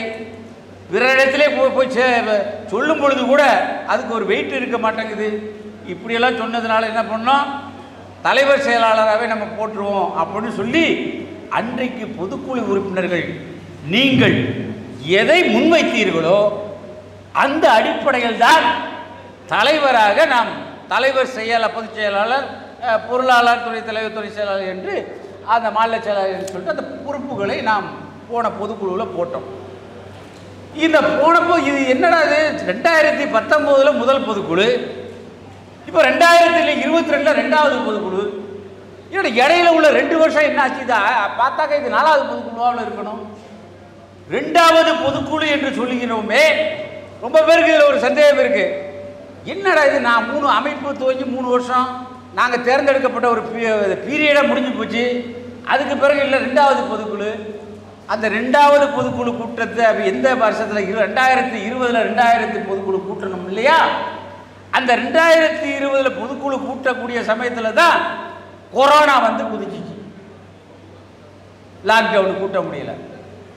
ரெண்டாயிரத்தி இருபதுல இருபத்தி ஒன்றில் அதுவும் லாக்டவுன் இந்த ரெண்டு வருஷமும் பொதுக்குழு கூட்டப்படவில்லை. அதற்கான காரணம் என்ன? இந்த கொரோனா பெருந்தொற்று ஊரடங்கு அரசாங்கத்தினுடைய கட்டுப்பாடு மக்கள் கூட முடியாத ஒரு நிலை. இதன் காரணமாகத்தான் இரண்டு ஆண்டுகள் பொதுக்குழு கூட்டப்படாத ஒரு நிலை. இப்பொழுது அந்த தடைகள் எல்லாம் தகர்க்கப்பட்டு விட்ட காரணத்தால் அந்த தடைகள் இனி இல்லை என்ற காரணத்தால் இந்த பொதுக்குழுவை நாம் கூட்டியிருக்கின்றோம் அதே நேரத்திலே இந்த பொதுக்குழுவை பொதுக்குழு தான் கூட்டவில்லையே தவிர இரண்டு செயற்குழுக்களை நாம் கூட்டியிருக்கின்றோம். கொஞ்சம் கொஞ்சம் ரிலாக்ஸேஷன் வந்துச்சு இல்லையா? கொஞ்சம் தளர்வு இருந்தது இல்லையா? அந்த தளர்வை பயன்படுத்தி கொண்டு திருச்சியிலே சிங்காரத்தோப்பில் இருக்கக்கூடிய ஒரு மகளில் ஒரு செயற்குழு கூட்டணும். கூட்டணுமா இல்லையா? கூட்டணும். போன பொதுக்குழு சாரி செயற்குழு புதுக்கோட்டையில் கூட்டணும். ஆக செயற்குழு என்ற பெயரில் அந்த தளர்வுகளை பயன்படுத்தி கொண்டு செயற்குழுவை கூட்டினோம். பொதுக்குழு கூட்டப்படாததுடைய காரணம் இது என்பதையும் உங்களுக்கு சொல்ல வேண்டிய கடமை எனக்கு இருக்கின்றது என்று சொ- காரணத்தால் நம்ம சொல்லிக்கிறோம். அப்போ எப்படி பார்க்குறோம்? ரெண்டு இரநூறு இரநூறு பேரை கொண்டு ராயபுரத்திலே துவங்கிய இந்த கூட்டமைப்பு இன்றைக்கு அதாவது போன போன பொதுக்குழு செயற்குழுவை பொறுத்த வரைக்கும் பார்த்தோம்னு சொல்லி சொன்னால் வந்திருந்தவங்க எத்தனை பேர்னா அறநூறு அறுநூத்தம்பது பேர் வந்திருந்தது ஆனால் இந்த பொதுக்குழு அதாவது எப்படின்னா இந்த நம்மளுடைய செயல்பாடு நம்முடைய வளர்ச்சி என்னுமே செய்யலை. இந்த இரண்டு வருட லாக்டவுன் பீரியடில் இந்த ஊரடங்கின் போது களப்பணிகளை நாம் முழுமையாக நிறைவேற்றக்கூடிய வாய்ப்புகள் நமக்கு கிடைக்கவில்லை. அது மாநிலமாக இருந்தாலும் சரி தான் மாவட்டமாக இருந்தாலும் சரி தான் பேரவைகள் கிளைகளாக இருந்தாலும் சரிதான். ஆனால் அதே நேரத்திலே பெண்ணம்பெரிய அமைப்புகள் எல்லாம் இன்னமெல்லாம் செய்ய முடியாதோ அந்த விஷயங்களை எல்லாம் நாம் செய்திருக்கின்றோம். அப்படி செய்ததனுடைய வளர்ச்சியினுடைய வெளிப்பாடுதான் இந்த பொதுக்குழு. அதாவது அழைப்பு அனுப்பிக்கிட்டே இருக்கிறேன். உங்களை வந்து உங்களுக்கு எல்லாத்தையும் தெரியும். எனக்கு வேணும் நான் வர்றேன் நீ வர்றேன் நீ வர்ற ஐயா இது பொதுக்குழு. இது பொது நிகழ்ச்சி கிடையாது. இது பொதுக்கூட்டம் கிடையாது. எளிய மார்க்கம் கிடையாது. இது இனிய மார்க்கம் கிடையாது. இந்த அமைப்பை விளங்கி இந்த வகி மட்டும்தான் மார்க்கம் என்ற அடிப்படையிலே அந்த அடிப்படை கொள்கையிலே தேசிய தொகை கூட்டமைப்பு நிலைத்திருக்கும். இந்த கொள்கையிலிருந்து தடம்புரளாது ஏற்கனவே நிறுவன தலைவர் அவர்கள் சொன்னது போல தடம் புரண்டு எதையெல்லாம் நாம் கொள்கையாக கடந்த காலத்திலே கடந்த இயக்கத்திலே வைத்திருந்தோமோ அவற்றையெல்லாம் நீர்த்து போகக்கூடிய செயல்கள் செய்து வருவதை நம்முடைய க- கடந்த காலத்தில் நம்ம பார்த்துக்கிட்டு இருக்கிறோம். இந்த நீர்த்து போகக்கூடிய செயல் நடவடிக்கை நம்முடைய கடந்த காலத்தில் இல்லை இந்த மூணு வருஷத்தில். இதை இன்றைக்கு பேரவைகள் உணர்ந்திருக்கக்கூடிய காரணத்தால் தான் இந்த அது மாத்திரமல்ல. நம்முடைய செயல்பாடுகள். என்ன செய்கிறோம் நீ ஆயிரம் லாக்டவுனை போடு. நீ ஊரடங்கை போடு. கொரோனா வந்தா வருதா? டிபி வருதா? இல்லை வேற எந்த பலா வருதோ? முசிபத்து வருதோ? எது வேணாலும் வந்துட்டு போட்டோம் ஆனால் இந்த நவீன காலத்திலே நமக்கு கிடைத்திருக்கக்கூடிய இந்த சமூக ஊடகத்தினுடைய இந்த தொழில்நுட்ப வளர்ச்சியை பயன்படுத்தி நாம் இந்த மார்க்க பிரச்சாரத்தை செய்து முதன் முதலாக பேரணாம்பட்டிலே ஒரு மாநாட்டை தௌஹீது மல மறுமலர்ச்சி மாநாடு என்ற பெயரிலே பேரணாம்பட்டிலே ஒரு மாநாட்டை கூட்டினோம். அந்த மாநாட்டு ஒரு மாநாட்டுக்கே வந்திருந்தவர்கள் ஒரு ரெண்டாயிரம் பேர் கூட கிடையாது. ஆனா இந்த பொதுக்குழுக்கு நான் வர்றேன் நீ வர்ற என்று போட்டி போட்டு நிறைய பேருக்கு நம்ம வாய்ப்பு கொடுக்கும் காரணம் என்ன? ஒன்று இந்த பேரவையினுடைய நிர்வாகிகளாக இருக்கணும். அல்லது பொறுப்பாளர்களாக இருக்கணும். அல்லது இந்த என்டிஎஃப்னுடைய வளர்ச்சிக்காக பாடுபடக்கூடியவர்களாக அவர்கள் உடல் உழைப்பாலும் சரி அல்லது பொருளாதார உதவிகளாலும் சரி பாடுபடக்கூடியவர்களாக இருக்கக்கூடிய சிலரை நாம் தேர்ந்தெடுத்துதான் சிறப்பு அழைப்பாளர்களாக நாம் சிறப்பு அழைப்பு கொடுத்திருக்கின்றோம். இன்னும் வேண்டும் வேண்டும் என்று கேட்டார்கள். மண்டபம் தாங்க இப்போ பார்க்குறோம். நிறைய பேர் வெளியில் நிற்கிறாங்க அப்படி அண்ணா- ஐநூறு நான் நானூறு ஐநூறு அறுநூத்தம்பது எழுநூறு என்று வந்து இன்னைக்கு ஆயிரத்தி இரநூறு பேர். இங்க ஆயிரம் பேருக்கு மேல வந்திருக்கிறீங்க. அப்ப இது வளர்ச்சியினுடைய வெளிப்பாடா இல்லையா? நாம் செயல்பாடுகள் வந்து பெரிய அளவில் நம்ம செயல்பாடு செஞ்சுட்டோம்ல நம்ம மாறுதட்டவில்லை. நமக்கு அல்லாஹ் என்ன சக்தியை கொடுத்தானோ அந்த சக்திக்கு உட்பட்டு நாம் எல்லாருமே உழைச்சோம். பெரிய பொருளாதார பின்புலம் கிடையாது. அங்கேருந்து வரும்போது நம்ம கோடிகளை கொண்டு வரவில்லை. கொள்கையை மாத்திரம்தான் கொண்டு வந்தோம். கோடிகளை விட்டு விட்டு கொள்கையை மட்டும் கொண்டு வந்தோம் அங்கிருந்து. அந்த கொள்கையை நிலைத்திருக்கக்கூடிய காலம் வரை அல்லாஹ் நம்மை கைவிட மாட்டான். அல்லாஹ்வுடைய உதவி நிச்சயமாக இருக்கும். எப்படி ஆயிரத்தி தொள்ளாயிரத்தி எண்பதுகளிலே வீரியத்தோடு நம்மை வழிகெடுத்து விட்டார்கள். தர்காக்களில் தர்கா கபர்முட்டிகளாக நம்மை ஆக்கி விட்டார்கள். மதகு மாயையிலே நம்மை கொண்டு போய் தள்ளி விட்டார்கள் என்ற அந்த வெறி இதெல்லாம் இஸ்லாம் இல்லையே. இது இஸ்லாத்திற்கு அப்பாற்பட்டதாச்சே. நம்ம கொண்டு போய் தள்ளிவிட்டார்களே இதில் என்று சொல்லி அவர்கள் மீதான அந்த கன்வெர்டட் ஸ்பிரிட் என்று சொல்லுவார்களே அந்த கன்வெர்டட் ஸ்பிரிட் அன்றைக்கு வீரியமாக இருந்த காரணத்தால் தான் இன்றைக்கும் இருக்கக்கூடிய இந்த இந்த எட்டிஎஃப்ல இருக்கக்கூடிய அறுபது வயதுக்கு அம்பா மேற்பட்டவர்களுக்கு தெரியும். ஊர் ஊராக சென்றோம். மார்க்கத்தை கற்றுக்கொள்வதற்காக மார்க்கத்தை தெரிந்து கொள்வதற்காக. பேருந்திலே சென்றோம். இன்றைக்கு இருப்பது போல இருசக்கர வாகனங்களினுடைய எண்ணிக்கை அன்றைக்கு கிடையாது. பொது போக்குவரத்து தான் அன்றைக்கு ஒரே வழியாக இருந்தது. ஏதோ ஒன்று ரெண்டு அப்துரமானி அந்த மாதிரி உள்ளவங்க வேண்டாம் காரில் வந்திருப்பாங்க. பேருந்துகளில் பயணித்தும். இன்னும் சொல்ல போனால் பல ஊர்களிலே எதிர்ப்பு எதிராளிகள் இவரை கங்கணம் கட்டி கொண்டு வந்த பொழுது யாருக்குமே தெரியாமல் டூ வீலர்ல நடுவில் உட்கார வச்சு நானும் இந்த மூத்தாப்பிட்டார் இந்த சகோதரர் உட்கார வச்சு அந்த மாதிரிலாம் கொண்டு போயிருக்கிறோம். துரத்திக்கிட்டு வர்றான். இதை வந்துருக்க ராஜகிரிலன்னு வந்திருப்பாங்க ஐயப்பேட்டையிலேருந்து. ராஜகிரியை சொல்லு எடுத்துக்க. துரத்தி அடிச்சான். அப்படியெல்லாம் இருந்துச்சு. ஒவ்வொரு ஊர்ல விரட்டி அடிக்கப்பட்டோம். அந்த விரட்டி அடிக்கப்பட்ட நிலையிலே நம்முடைய உள்ளத்திலே இருந்த ஈமானிய வலிமை நம்முடைய உள்ளத்திலே இருந்த அந்த இறையச்சம் நம்முடைய உள்ளத்திலே இருந்த அந்த உள தூய்மை இதற்கு பரிசாகத்தான் இறைவன் இன்றைக்கு தமிழகத்திலே வேறு எந்த இயக்கங்களும் பெயர் சொல்ல முடியாத அளவிற்கு ஏகத்துவ மறுமலை வளர்ச்சி ஏற்பட்டிருக்கிறது.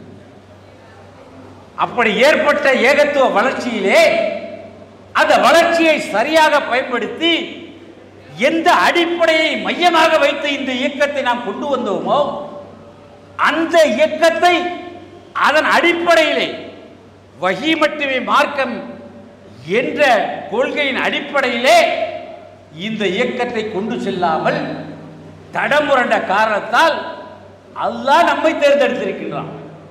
கியாம நாள் வரைக்கும் இருக்குமா இல்லையா? நபிசல்லா அலிஸ்லாம் அவர்களுக்கு பிறகே எவ்வளோ பேர் தடம் புரண்டார்களா இல்லையா? வரலாற்றை பார்க்கிறோமா இல்லையா? அப்படி இன்றைய தமிழகத்திலே நாம் இந்த சரியான மார்க்கத்தை சொல்ல வேண்டும் என்பதற்காக அல்லாஹ் நம்மை தேர்ந்தெடுத்திருக்கின்றான். அல்லாஹ் யாரை தேர்ந்தெடுத்திருக்க தேர்ந்தெடுப்பானோ? அவன் யாரை விரும்புகிறானோ? அவர்களைத்தான் தன்னுடைய கொள்கையை இந்த வையகத்திலே கொண்டு போய் சேர்ப்பதற்கு அல்லாஹ் பயன்படுத்துவான். அந்த அடிப்படையிலே இன்றைக்கு நாம் வந்து சேர்ந்திருக்கின்றோம். செயல்பாடுகள் என்று சொன்னால் அன்னைக்கு நம்ம எதிலையும் சோர போய் விடவில்லை. பாபரி மஸ்ஜித் பிரச்சனை வழக்கு வந்துச்சு. அந்த பாபரி மஸ்ஜிதுடைய வழக்கு அது கட்ட பஞ்சாயத்து தீர்ப்பு. அது வந்து நியாயம் இல்லை. அது தீர்ப்பு தானே தவிர சட்டத்தின் அடிப்படையிலே அமைந்த தீர்ப்பு அல்ல. இது ஒரு சாராரை திருப்திப்படுத்தக்கூடிய தீர்ப்பு என்று சொல்லி அதற்கு எதிராக நாம் களமிறங்கினோம். ஒரு பொதுக்கூட்டத்தை போட்டோம். அந்த பொதுக்கூட்டத்திலே பாபரி மசூதி வழக்கு சம்பந்தமான பொதுக்கூட்டம் நம்ம மூர்ஷீட்டில் போட்டோமா இல்லையா? தம்பச்சட்டி தெருவில்? அந்த கூட்டத்திற்கு வந்திருந்தவர்கள் என்டிஎஃப் சகோதரர்களை விட மூணு மடங்கு சகோதரர்கள் த- ஜமாத் சகோதரர்கள். ஏன் வந்தான்? இவங்க தாண்ட அதுக்கு சரியான தீர்வை சொல்லுவான். இவங்ககிட்ட தாண்ட அவங்கள்ட்ட தரவுகள் சரியா இருக்குது. இவர்கள் சொல்வது தான் சரியாக இருக்கும் இவருடைய கருத்து தான் ஏற்புடையதாக இருக்கும். என்பதை யார் விளங்கி வைத்திருக்கிறார்கள்? சுன்ன ஜமாத்துக்கார விளங்கி வச்சிருக்கிறான். எல்லாருமே வந்தான் அன்னைக்கு கூட்டத்துக்கு எதுக்கு சொல்ல வரேன்னா சரக்கு எங்க இருக்கு? சரக்கு எங்க இருக்குது என்பதைத்தான் மக்கள் பார்க்கிறார்கள். அந்த சரக்கு இருக்கிற இடத்துக்கு தான் வர்றாங்க. அந்த கூட்டத்தை கூட்டினமே எங்கிருந்து நாம் வந்து வாகனம் வைத்து அந்த கூட்டத்தை அழைத்து வந்தோம்? எங்கிருந்து நாம் வாகனத்துக்கு செலவு பண்ணி கூட்டு வந்தோம்? அல்லது ஆட்டோ வச்சோம் வேனு வச்சோம் ஏதாவது வச்சோமா? ஒன்றுமே கிடையாது. முழுக்க முழுக்க தன்னார்வத்தோடு வந்தார்கள். அப்படி ஒரு வழிமுறையை நாம் அந்த இயக்கத்தில் உருவாக்கி வைத்து விட்டோம். யாராவது இப்போ ஒன்றும் வேண்டாம். இந்த இந்த இந்த பொதுக்குழுவை பொறுத்த வரைக்கும் உங்களுக்கு நல்லா தெரியும். ஏன்னா அங்கேருந்து தான் நம்ம வந்தோம். பொதுக்குழுக்கு வருவதற்கு அந்தந்த கிளையிலே இருக்கக்கூடியவர்கள் என்ன செய்வாங்க?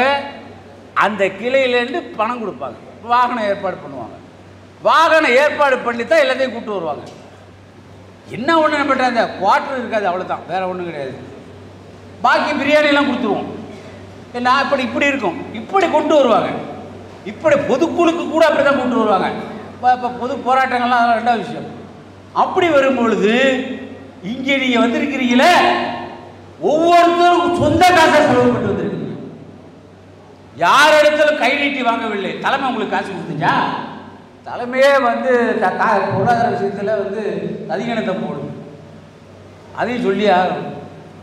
அப்போ நம்ம யாரையுமே நாம் இது அழைத்து வரப்பட்ட கூட்டம் அல்ல தானாக வந்த கூட்டம்.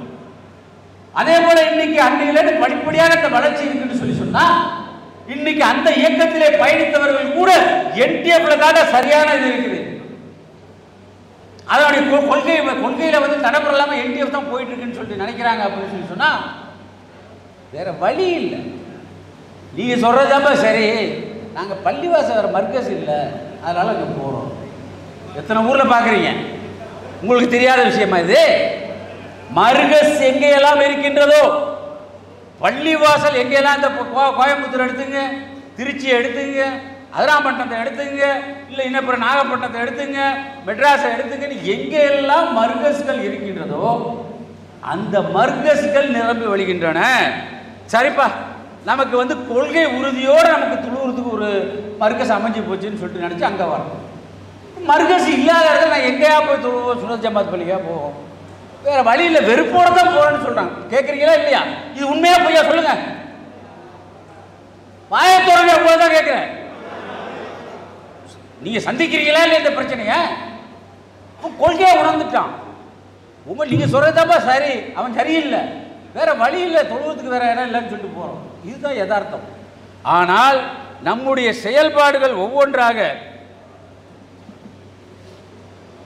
நம்முடைய செயல்பாடுகள் ஒவ்வொன்றாக அதிகரிக்கும் பொழுது நிச்சயமாக இந்த மக்களை வென்றெடுக்க முடியும். எப்படி? இன்னைக்கு வந்து களமாறுறது இந்த மனுஷன் ஒரே ஒரு ஆள். என்ன எந்த கேள்வியாக இருந்தாலும் எத்தனை சவால் விட்டுருப்போம்? எவனாவது சவால் விட்டுருப்பானா? டிஎன்டிஜியினுடைய ஊழலாகட்டும் டிஎன்டிஜியினுடைய அவதூறுகளாகட்டும் எதுவாக இருந்தாலும் நாங்கள் நேருக்கு நேர் சந்திக்க தயார் என்று சவால் விடக்கூடிய திராணி எவனுக்குடா இருக்கு? அந்த சவால் வரும். சொன்ன இப்போ இந்த எக்ஸ் முஸ்லீம்ல பூசா கிளம்பி இருந்தான் அவனோட கூட விடல. வாங்குற பாவம் எவனா இருந்தாலும் இஸ்லாத்தை எவன் குச்சைப்படுத்த வேண்டும் என்று நினைக்கின்றானோ இஸ்லாத்திற்கு எவன் கலங்கம் சுமத்த வேண்டும் என்று நினைக்கின்றானோ இஸ்லாத்தை எவன் விமர்சிக்கின்றானோ அத்தனை பேருடைய வாயையும் அடைப்பதற்கு எங்களிடத்திலே குரானும் ஹதீஸும் என்ற வாழும் கேடயமும் எங்களிடத்தில் இருக்கின்றது என்பதை மாதற்றி சொல்லக்கூடிய ஒரு அமைப்பாக இன்றைக்கு இந்த கூட்டமைப்பு இருந்து சரி எல்லாம் சரி. நாம் எவ்வளோ செஞ்சிட்டோம்? இனி இந்த இயக்கத்தை எப்படி எடுத்துக்கொண்டு போகின்றோம்? ஏதோ ஜக்காத்துன்னு கொடுத்துட்றீங்க.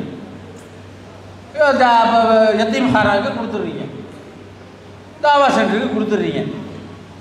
இப்போ இந்த கூட்டமைப்பு இருக்குல்ல இது வந்து இன்னும் செயல்பாடுகளை நீங்கள்லாம் எதிர்பார்க்குறீங்க. நீங்கள்லாம் நீங்கள் சந்திக்கக்கூடிய பிரச்சனைகளை வச்சு தான் நான் பேசிக்கிட்டு இருக்கிறேன். எல்லாம் சரிதான்ப்பா உங்களுடைய செயல்பாடுல இல்லைன்னு பத்தாது. இது பத்தாதுல. அதை சரிப்படுத்துவதற்கு என்ன வேணும் அடிப்படை? சொல்லுங்க பார்ப்போம் அடிப்படை என்ன? வைட்டமின் பா தான் அடிப்படை.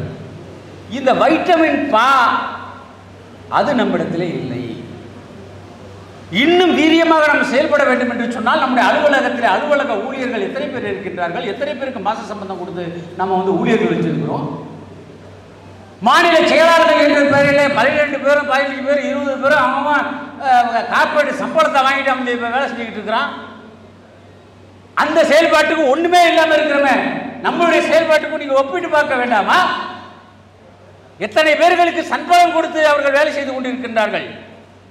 இப்போ நாங்கள் இருந்தவன் இருபத்தி ஒரு மாநில நிர்வாகிகள் யாராவது சம்பளம் வாங்கிட்டு வேலை செஞ்சுதான் ஒன்றுமே கிடையாது. அப்போ அப்படி இருக்கும் பொழுது நம்மளுடைய செயல்பாடை அதிகப்படுத்த வேண்டும் என்பதில் மாற்று கருத்தில்லை போன செயற்குழுவிலே நான் புதுக்கோட்டையிலையும் சொன்னேன். மாதம் மாதம் இந்த நூறுரூவா கேட்குறோம். இந்த மாதம் மாதம் இந்த நூறுரூவா கேட்குறது நீங்கள் எல்லாம் அனுப்புங்கன்னு சொல்கிறோம் அது ரொம்ப பேர் கொடுக்கலன்னு உடனே போன செயற்குழுக்கு ஒரு அறுநூத்தம்பது பேர் அறுநூறு பேர் கிட்ட வந்திருந்தீங்க. அதில் வந்தவங்கள்லாம் பெரும்பாலும் இங்கே வந்திருப்பீங்க. அப்போ என்ன சொன்னோம்? இந்த வந்திருக்கக்கூடியவர்கள் மாதம் நூறுரூவா அடையப்போ ஒரு பத்து டீ மாதம் குடிக்க மாட்டோம். அது பத்து டீயை நாம் இந்த அல்லாவுடைய பாதையில் செலவு பண்ணக்கூடாதா? அப்போ நீங்கள் எல்லாம் தர்றேங்கிறவங்களாம் கை தூக்குங்கன்னு சொன்னோம். எல்லாரும் கை தூக்குனாங்க. அன்னைக்கு வந்தவங்க அறுநூத்தம்பது பேர் மாதம் நூறுரூவா அனுப்பியிருந்தா எவ்வளோ ஆச்சு? எவ்வளோ ஆச்சு? அறுபத்தி ஐயாயிரம் ரூபா மாதம் ஏங்க அறுபத்தி ஐயாயிரம் ரூபா மாதம் வந்துச்சாங்க? மாதம் கூட தான் பொருளாளர். அல்ல. அப்போ என்ன ஆகுதுன்னா கையை தூக்கி ஆண்டுறாங்க. எல்லாரும் சேர்ந்துருக்கும் போது என்ன நினைக்கிறோன்னா அப்போ இந்த வார்த்தையை நான் அப்போ சொன்னேன். அல்லாஹ் பார்த்துக்கிட்டு இருக்கிறான். அல்லாக்கு பயந்து சொல்லுங்க. கொடுக்குறவங்களாம் கையை தூக்குங்கன்னு கேட்கும் பொழுது எல்லாரும் கையை தூக்கிட்டாங்க. ஆனால் கொடுக்கல. உண்மையிலேயே அந்த நூறுரூவா கூட மாதம் ஒதுக்கக்கூடிய வலிமை அந்த அந்த பொருளாதார பலம் இல்லை அப்படிங்கிறவங்கள பற்றி நம்ம கவலைப்பட வேண்டியதில்லை. ஒரு பத்து டீயே மாதத்தில் தியாகம் பண்ண மாட்டோமா? அந்த மாதிரி கேட்டிருந்தோம். அப்போ அந்த மாதிரி நீங்கள் இந்த நிர்வாக செலவினங்களுக்காக நீங்கள் தாவா சென்டருக்கு கொடுத்தீங்கன்னா அது அதுக்கு தாவா சென்டருக்கு போக போகுது? நீங்கள் எத்திமகானாக்க கொடுத்தீங்கன்னா அது எத்திமகானாக்க போக வேண்டியது. ஜக்காத்து கொடுத்தீங்கன்னா அது ஜக்காத்து வகைக்கு போகும். அந்த ஜக்காத்து பண்ற எடுத்து நாம தூக்கி நிர்வாகத்திலேயோ அல்லது வழக்கு செலவுக்கோ அல்லது கோர்ட்டு செலவுக்கோ பயன்படுத்துறதுக்கு நாம என்ன அந்த இயக்கமா? யோசிச்சு பார்க்க வேண்டாமா? எதற்காக மக்கள் கொடுத்தார்களோ அந்த அமானிதத்தை நிறைவேற்ற வேண்டும். எதுக்காக இங்கே வந்திருக்கிறோம்? அல்லாவிடத்திலே நன்மையை பெற வேண்டும். நம்முடைய மறுமை வாழ்க்கை நல்ல வ- வாழ்க்கையாக அமைய வேண்டும் என்ற நோக்கத்தில் தான் நம்ம இஸ்லாத்துக்கே வந்திருக்கோம். இந்த இயக்கத்துக்கும் வந்திருக்கிறோம். அப்படி நம்முடைய மறுமை வாழ்க்கை நேராகவும் சீராகவும் அமைய வேண்டும் என்று சொன்னால் அதுக்கு என்ன செய்யணும்? அமானியத்தை பேரணுமா வேணாமா? பேணுவதற்காக அந்தந்த வகைக்கு மட்டும்தான் நம்ம செயல்படுத்துறோம். எப்படி வாக்கு உறுதி கொடுத்து மக்களிடத்தில் நம்ம வசூல் பண்ணுமோ அந்த மாதிரி நம்ம வந்து செஞ்சுக்கிட்டு இருக்கிறோம். அதே நேரத்திலே நிர்வாக செலவினங்களுக்கு பொருளாதாரம் இருந்தால்தான் தலைமையால் சரியான முறையில் செயல்பட வே முடியும் என்பதை நீங்கள் எல்லாரும் உணர்ந்திருப்பீர்கள். இப்படி நீங்கள் வந்திருக்கிறீங்க. இந்த மூளைக்கு மூளை தூணு தூணு ஒட்டி வச்சிருக்கோம். அதெல்லாம் பார்த்தீங்களா? யாராவது பார்த்துருக்கீங்களா இந்த ஒட்டி வச்சிருக்க பாருங்க பார் கோடு நேஷனல் தௌஹீத் ஃபெடரேஷன் பார் கோடு இந்த பார் கோடை ஸ்கேன் பண்ணி கூகுள் பிளேலேருந்து நீங்கள் யாரெல்லாம் வந்து அந்த வசதி இருக்கோ அதுலேருந்து நீங்கள் போட்டுட்டு அனுப்பிட்டு உடனே உங்கள் நம்பரை போட்டுட்டு நீங்கள் அந்த நம்பருக்கு சொல்லிட்டீங்கன்னு சொல்லி உடனே ஆன் த ஸ்பாட் ரெசிப்டை வாங்கிடுங்க. இல்லை நான் கேஷாக தான் கொடுப்பேன் அப்படின்னு நினச்சிங்கன்னு சொல்லி சொன்னால் அதுக்கு ஒரு ரெசிப்ட் புக்கோட நம்ம ஆளுங்களை உட்கார வச்சுக்கிறோம் அதை நீங்கள் கொடுத்துருங்க. இப்போ வந்ததுக்கு உங்களால் என்ன முடியுமோ ஏன்னா செலவினங்கள்லாம் வந்து உங்களுக்கு சொல்ல வேண்டியதே கிடையாது. நீங்கள் ஒரு பேரவையில் ஒரு கிளையில் நீங்கள் என்ன கஷ்டப்படுவீங்கங்கும் போது நம்ம மாநில தலைமை எல்லாத்தையும் வச்சு எவ்வளோ கஷ்டப்படுவோங்கிறது உங்களுக்கு தெரியும். அதனால உங்களுடைய பொருளாதாரத்தை கொடுக்க வேண்டும். இந்த நூறுரூவா இருக்குல்ல? புதுக்கோட்டைக்கு அப்போ இப்போவும் கேட்குறேன் இந்த நூறுரூவா மாதம் மாதம் எனக்கு கொடுக்க முடியுங்கிற மட்டும் அல்லாத மனசில் வச்சு கை தூக்க பார்ப்போம். அப்பா இது கேமரா திருப்பி பார்த்து பக்கம் கேமரா திருப்பி. அத்தனை பேர் மாட்டுவீங்க கொடுக்கலன்னாக்கா. கேமரா திருப்பி.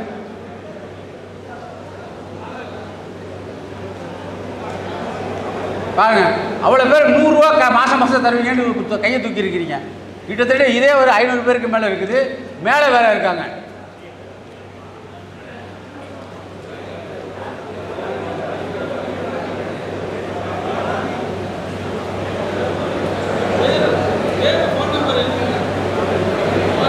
ஆ அது தௌஹீத் ஃபெடரேஷனு நீங்கள் இது பண்ணிட்டு அந்த நம்பரை சொல்லுங்கள் நம்பரை சொல்லுங்கள் முடிச்சாச்சு. லாஸ்ட்டு கன்க்ளூஷனு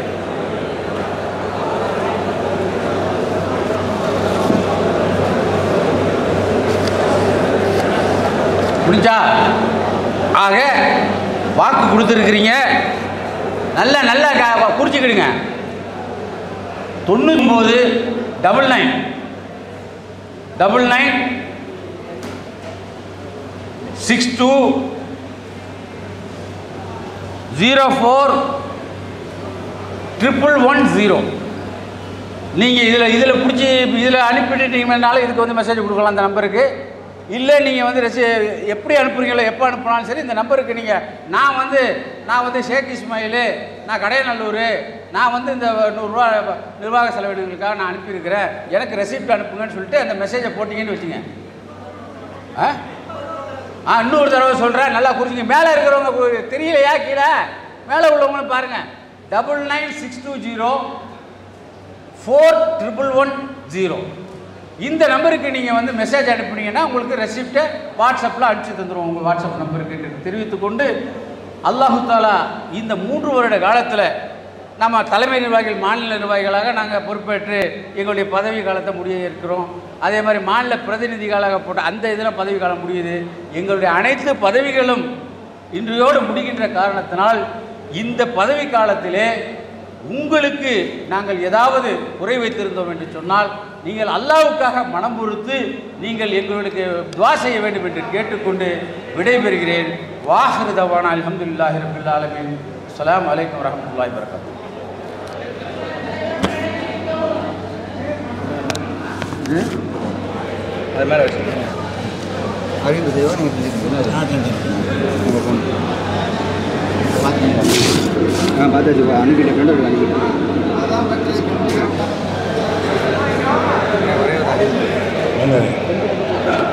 அஸ்ஸலாமு அந்த தலைமைக்கு வந்து பொருளாதாரம் அனுப்பக்கூடியவர்களுக்கு வந்து அந்த ஸ்கேனர் கோட் ரெண்டு சைடும் பிரிண்ட் சொல்லிட்டாருங்க. அதான் தகவல் சொல்லிட்டார் அவரே அறிவிச்சிருக்காரு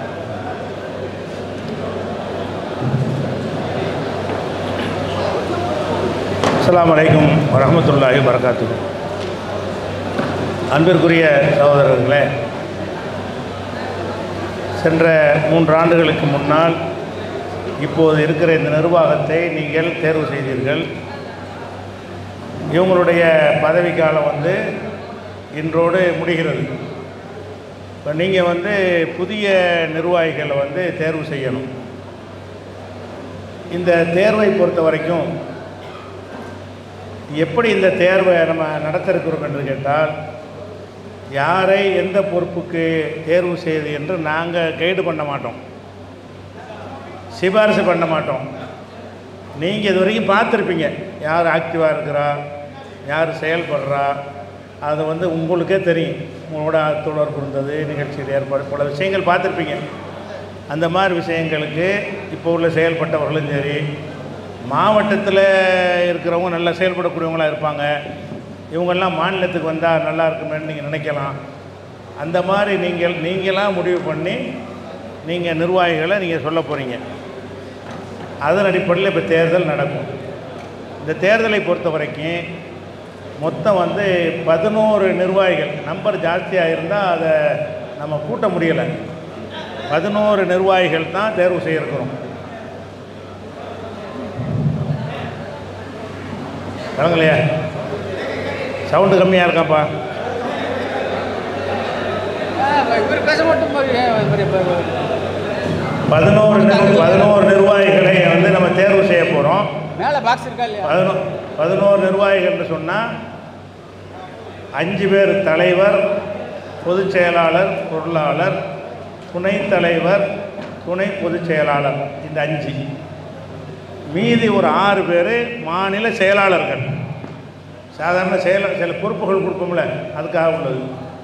நிறைய இருபத்தஞ்சி முப்பது பேர் இருந்தால் மசோரா கூட்டுறதுக்கே ரொம்ப சிரமமாக இருக்கிற செயல்பாடு வந்து முடங்கிடுது அதனால் இவ்வளவு போதும்னு சொல்லி நாங்கள் முடிவெடுத்து அஞ்சு ப்ளஸ் ஆறு. அந்த அஞ்சு பேருடைய தேர்தல் அது தனியாக நடக்கும். இந்த ஆறு பேர் தேர்வு செய்கிறது அது அது ஒரு விதமாக உங்களுக்கு நடக்கும்.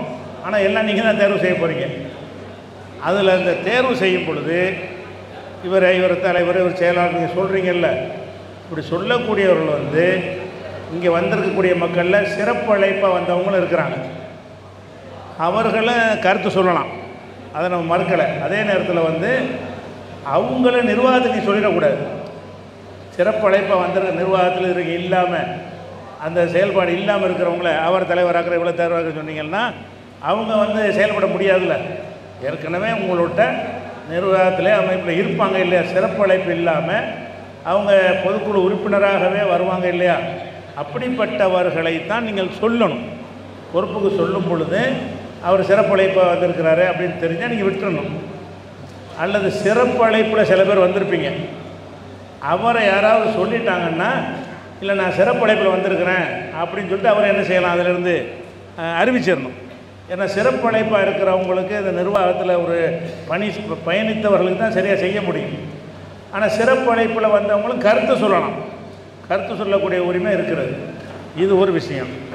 இரண்டாவதாக ஒரு பொறுப்புக்கு ஒருவரை நம்ம சொல்லும் பொழுது வாக்கெடுப்பு நடத்துவோம். ஒன்றுக்கு மேலே இப்போ தலைவருக்கு பத்து பேரை சொல்கிறீங்கன்னா பத்து பேர் நின்றுவாங்க. நின்ற பிறகு ஒன்றாவது ஆளுக்கு கையை தூக்குங்கன்னு சொல்லுவோம். நீங்கள் கையை தூக்கி எண்ணிக்கிடுவோம் ரெண்டாவது ஆள் மூணாவது ஆள் பத்தாவது யார் வந்து அதிகமாக அந்த வாக்கு பெறுகிறார்களோ அவர் வருவார். அதோட அந்த தேர்தல் முடிஞ்சிடும். இப்படி தேர்ந்தெடுக்கும் பொழுது சில நிர்வாகிகள் நீங்கள் தேர்ந்தெடுத்த ஒரு ஆள் வந்து மறுக்கலாம். எனக்கு முடியலை நான் உடம்பு சரியில்லாமல் இருக்கிறேன் இந்த பொறுப்பு எனக்கு சுமக்க இயலாது ஏ, மக்கள் வழங்காமல் சொல்கிறாங்க அப்படின்னு சொன்னீங்கன்னா அதை திணிக்க மாட்டோம். அது இல்லை அப்படிலாம் கிடையாது அப்படின்னு சொல்கிறது வந்து அவர் சரியில்லை. எப்போ அவர் எனக்கு முடியலைன்னு சொல்கிறாரு அவருக்கு நம்ம திணிச்சோம்னு சொன்னால் அவர் செயல்பட மாட்டார். ஏதாவது கேள்வி கேட்டோம்னு நான் அப்போவே சொன்னானே பாரு. நான் தான் அப்போ தேர்ந்தெடுக்கும் போது நான் சொன்னேனே அப்படின்னு பதில் சொல்லிட்டு இருப்பார். செயல்பாடு நடக்காது. அப்போ யாரையாவது நீங்கள் சொல்லும் பொழுது அந்த ஒருவர் என்ன செய்கிறாரு இல்லை நமக்கு முடியாது. என்னை விட்டுருங்க. அப்படின்னு சொன்னாங்கன்னா அதை விட்டுட்டு அடுத்த ஆளுக்கு போயிட வேண்டியதான் யாராக இருந்தாலும் அந்த பொறுப்பை ஏற்றுக்கிறதுக்கு சொல்லப்பட்டவர்கள் வந்து மறுத்த பிறகு திணிச்சல் திணிக்குதல் என்பது சரியாக வராது. இந்த ரெண்டு அடிப்படையில் வரப்போகுது. இப்போ ஃபஸ்ட்டு வந்து அந்த ஐந்து பொறுப்பாளர்களை நம்ம தேர்வு செய்ய போகிறோம் தலைவருக்கு நீங்கள் யாரை சொல்கிறீங்களோ சொல்லுங்கள் ஒரு ஆள் வேற வேற வேற ஆள். இல்லை போ சரி ஒரு ஆளை சொல்லிட்டீங்க. கேட்போங்க ஜனநாயகம்னா கேட்க சரி இல்லைங்க ஜனநாயகம்னா சரிங்க தேர்தல்னா ஒரு கருத்தை கேட்குறோம்ல இன்னொரு இருக்கான்னு கே இன்னொரு கருத்து இருக்கான்னு கேட்போம். இல்லைன்னு நீங்கள் சொல்ல வேணாம். இருக்கிறதுன்னு சொல்லுங்கள் சரி. சரி சரி சரி. அது முடிஞ்சது முடிஞ்சது முடிஞ்சது முடிஞ்சது. சரி ஒன்று முடிஞ்ச விட்டுருங்க விட்ருங்க ஒன்றும் அவங்க நேர நேரத்தை வேஸ்ட் பண்ணிட்டு இருக்க வேணாம். விவாதம் பண்ணிட்டு இருக்க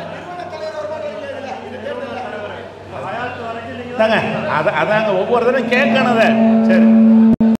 இரண்டாவதாக அடுத்து தலைவர் முடிந்து விட்டது. பொதுச் செயலாளராக யாரை சொல்லலான்னு பேர்? உட்காந்து உட்காந்து சொல்லுங்க. என்ன பேர்? காதில் வழங்கலை நாலாவது குறிச்சிக்கங்க உட்காருங்க வேற யாரையும் சொல்றீங்களா? இல்லை சரி. வேற யாரும் இல்லை. அவர் நீங்கள் உட்காந்து வந்து. அடுத்து பொருளாளர். பொருளாளருக்கு யாரை சொல்றீங்க?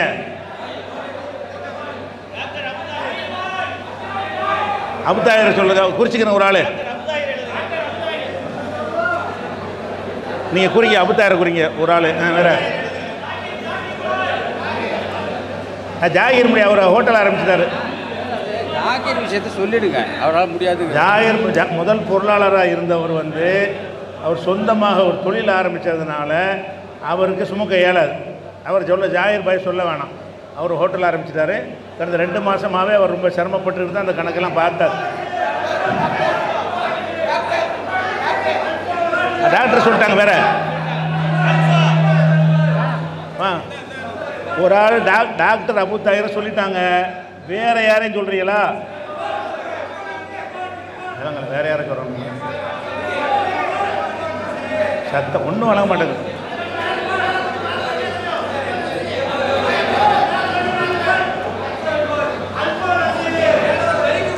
என்ன சொல்றாரு அவரு?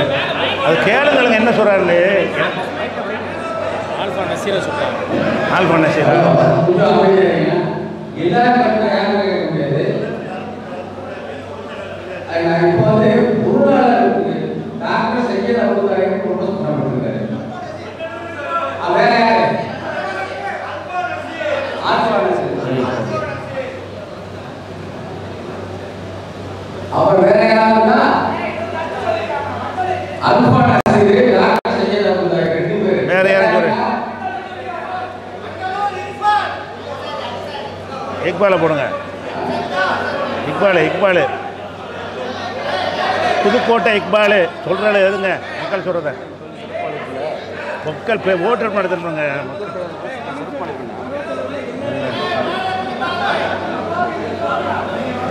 சொல்லுவோம் சொல்லிட்டு சொல்லுவோம். ஆ. வேற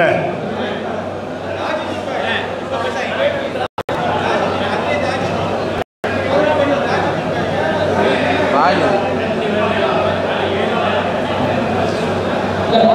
என்னால் பொருளாதார வாங்க முடியாது நான் வந்து தனியாக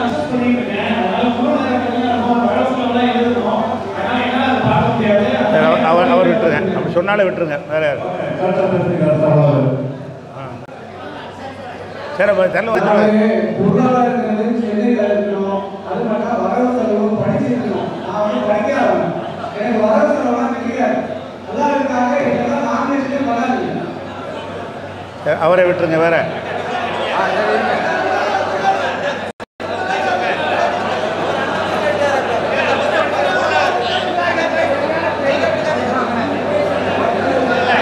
ஆ ஒரு நிமிஷம் எல்லாரும் வாங்க. அதாவது வந்து ப்ரொப்போஸ் பண்ணப்பட்டவங்கள வந்து இருப்பான ஒரு ஆளு கேட்கல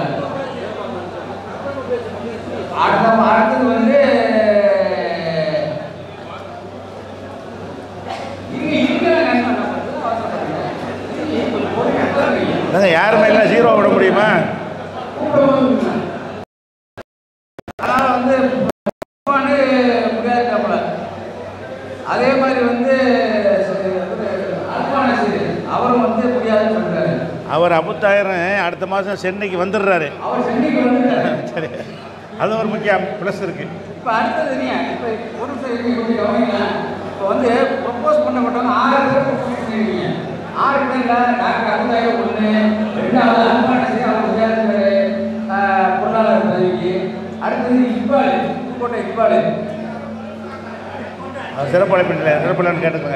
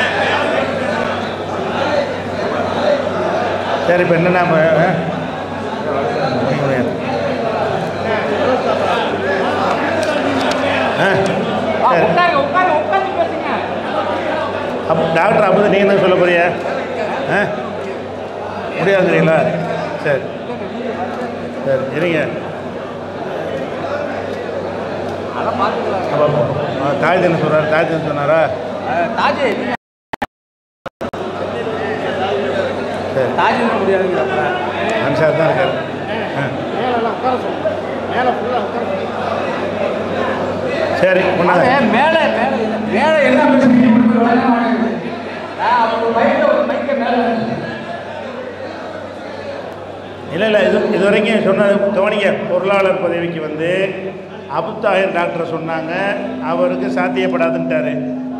அல்பா நசீர் அவர் சாத்தியப்படாதுன்ட்டாரு. அவருக்கு நான் தொழில் தாஜுதீன் வரி தாஜுதீன்னு தவிர்க்கிறாரு. அதுக்கப்புறம் வந்து ராபி ராபி என்ன சரி. சரி அவர் இருப்பான்டாரு இருப்பான் இருப்பான் மாட்டேன்ட்டாரு. சேப்பாக்கு அன்சாரி ஒரு ஆள் தான் இருக்கார். அவர் என்ன சொல்கிறாரு அன்சாரி என்ன? பொருளாளருக்கு அங்கே பொறுப்புக்கு ஏற்றுக்கிறீங்களா வேறு நீங்கள் ஒரு ஆள் தான் இருக்கிறீங்க கணத்தில். நான் போட்டு விடுவோம் சரி. அப்போ சே சேப்பங்க அன்சாரி பொருளாளர். அதுக்கப்புறம் வந்து துணைத் தலைவர். ஆல்ஃபா ஒன்று ஆல்ஃபா ஒன்று ஆல்ஃபா வேற. ஒருத்தர் சொல்லியாச்சு அல்ஃபா நசீரை சொல்லிட்டாங்க வேற. அவரே எல்லாரும் சொல்ல வேணாம். சொல்லிட்டாங்க வேற. அபுதாயரா அபுதாயர் போடுங்க அபுதாயர் ஓகேவா சொல்கிறாங்க ஆ சரி.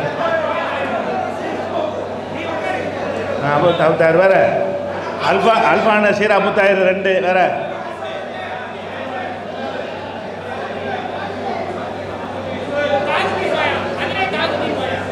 மதுரை தாயத்தின் பாயை போடுங்க. மூணு மூணு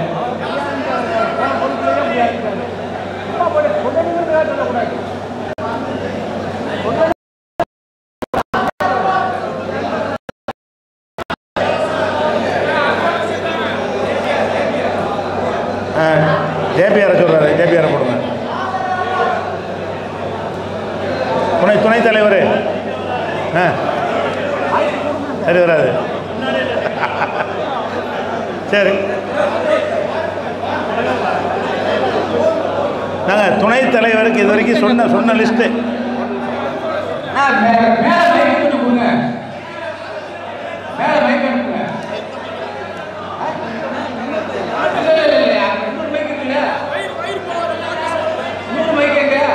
இருங்க மேலே மேலே மேலே உள்ளவங்க நான் சொல்கிறேன் கேட்குதா கேட்குதுல்ல அமைதியாக மாட்டீங்க அமைதியாக மாட்டீங்க அதாவது இப்போ நான் படிக்கிறேன். அது இல்லாத ஆளுக்கு இருந்தால் கையை தூக்குங்க. வந்து கேட்டுக்கணும். அமைதியாக இருங்க. அவங்க சொல்கிற அவங்க கருத்து சொல்ல முடியலையா? இப்போ துணைத் தலைவருங்கிற பொறுப்புக்கு அல்பா நசீரை சொல்லியிருக்கிறாங்க ஒன்று ரெண்டாவது டாக்டர் அபு தாயிரை சொல்லியிருக்கிறாங்க. மூணாவது ஜேபிஆரை சொல்லியிருக்கிறாங்க. நாலாவது வந்து ஃபரோஸ் பாய் சொன்னாங்க கீழே இருக்கிற நாலு பேர். நாலு தாயதி ஒன்று சொல்லி அஞ்சு பேரை சொல்லியிருக்கிறாங்க. சரிங்க அஞ்சு அஞ்சு பேரில் கமர்தீனா கமர்தி ஒன்று ஆறு பேர். அப்போ இந்த ஆறு பேரில் ஜேபிஆர் மாட்டேன்ட்டார். அஞ்சு பேர். அப்புறம் ஒன்று அஞ்சு பேர் எழுதுங்களேன் அஞ்சு பேர் எழுதுங்க ஓட்டு போடுங்க. இந்தாங்க. இல்லை யார் மாட்டேன்னு சொல்கிறாங்களோ ஃபரூ ஃபரோஸ் ஃபரோஸ் கமர்தி. ஆ? இல்லை ஓட்டு இருக்கான்னு கேட்டுங்க அவங்கள ஒதுக்கிடுவாங்கல்ல. ஆ ஓட்டிடுவாங்க ஆ கருத்துக்கா இப்போ கருத்து சொல்கிறீங்களா ஒருத்தருக்கா? எண்ணிருவோமா சொல்லுங்கள் யார் யார் மிச்சமாக இருக்க சொல்லுங்கள் அதாவது அல்ஃபா நசீர் அபுதாயிரு ஜேபிஆர் ஜேபிஆர் எடுத்துருங்க வேணான்ற பேர் அப்படியா? வேணான்னு சொன்னவங்க எடுத்துருங்க சரி. அப்போ வந்து அல்ஃபா அபுதாயிரு ஃபரூஸ் கமாலுதீன் நாலு பேர். சரியா? இந்த நாலு பேர்ல நான் ஒருத்தராக காட்டுங்க இப்போ வந்து போனாங்க அது எண்ணுங்க எண்ணுங்கம்மா என்ன என்ன? இர்ஃபான் எண்ணுங்க ஆல்ஃபா நசீர் அங்க மேலே யாராவது ஒரு ஆள் இந்த சேர்க்கிறவங்கள வந்து நிர்வாகிகள் இருக்காங்க ஓட்டுநர் உள்ள போயிருக்காங்க அவங்கள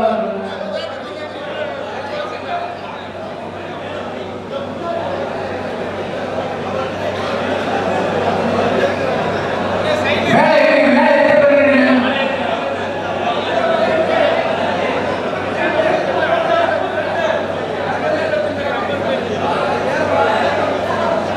இங்கே எவ்வளோ ஏய், எங்க வந்து கீழே போட்டாங்க ரொம்ப பேரு. சீக்கிரம் வைங்க. முப்பத்தி ஆறு ஒன் அமுதாயிரு இல்லை மேலே மேலே அமுதாயிரு என்ன என்ன.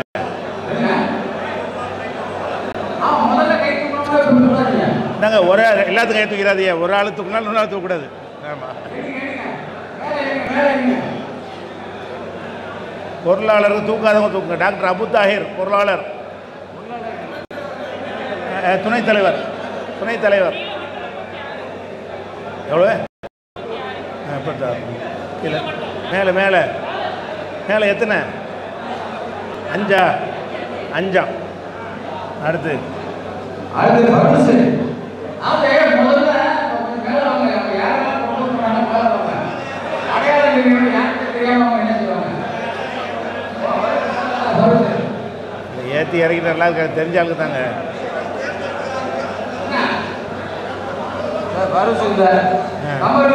கமருதீன். கமருதீன்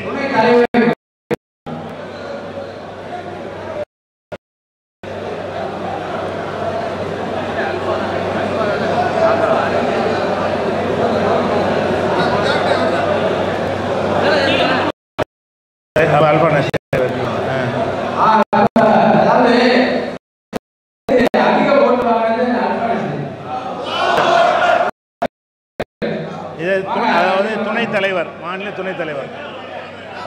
அதுக்கப்புறம் மாநில துணை பொதுச் செயலாளர். அவுட்டாயிரா? காமர் போடுங்க.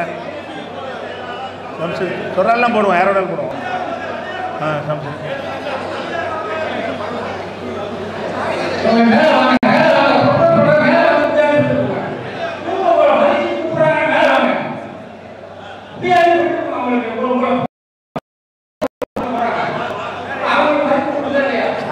yo lo veo.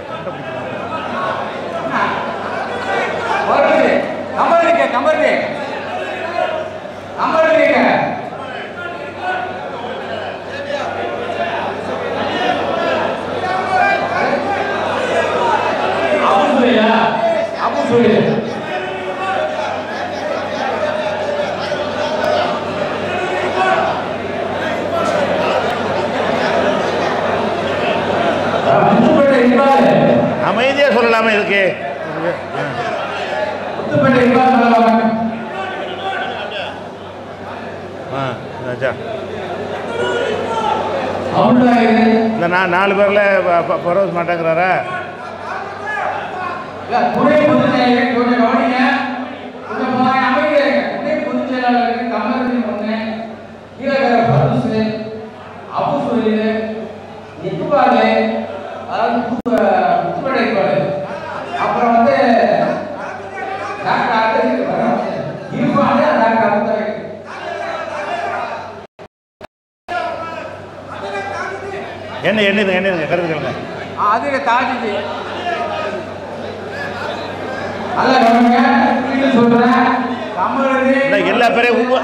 உள்வாங்கிக்கிறங்க. இன்னொரு கட்சியில் உள்வாங்கிக்கிற பேர் நல்லா உள்வாங்கி. உள்வாங்கிற மாதிரி சொல்லுங்கள் அப்படி தான் அனலைஸ் பண்ணி சொல்லுவாங்க. இன்னொருக்கா பேரை சொல்லுங்கள் லிஸ்ட்டை. லிஸ்ட்டை இன்னொருக்கா சொல்லுங்கள் அவர்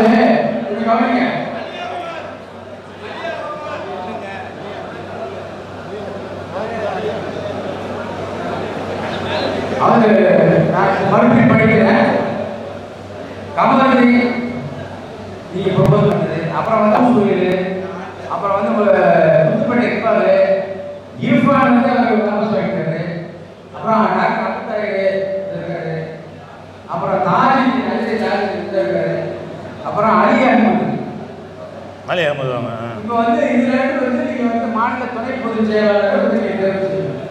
ஏதாவது கருத்து சொல்லுங்க.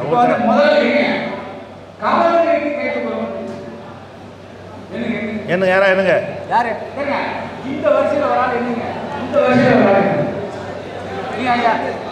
இல்ல அவர் இருப்பான் கரெக்டாக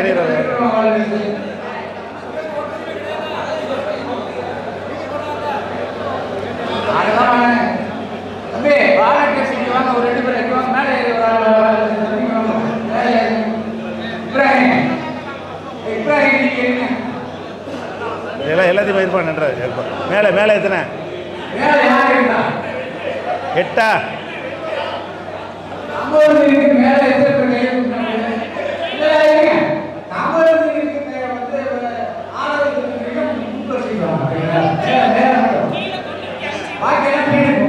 தொண்ணூத்தஞ்சு தொண்ணூத்தஞ்சு கீழே. தொண்ணூத்தஞ்சு அப்புறம்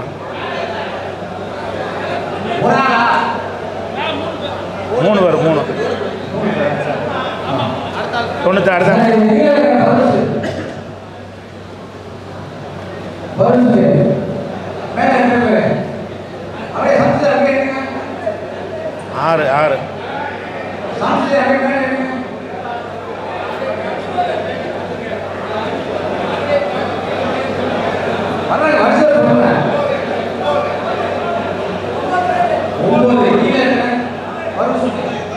பரோசுக்கு பரோசு துறை தலைவருக்கு. துணை பேச்சாளரா?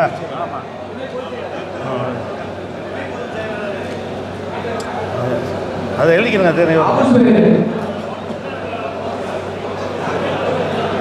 ஒன்று ரெண்டு மூணு நாலு.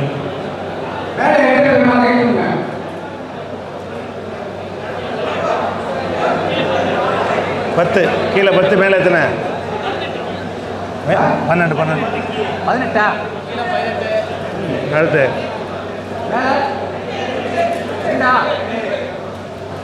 அடுத்து. முத்துப்பேட்டை இப்பாளே முத்துப்பேட்டை இப்பாளே துணை போச்சு அதெல்லாம் வேற வேற பொறுப்பு மனசில் வச்சிருப்பாங்க அவங்க. சரி.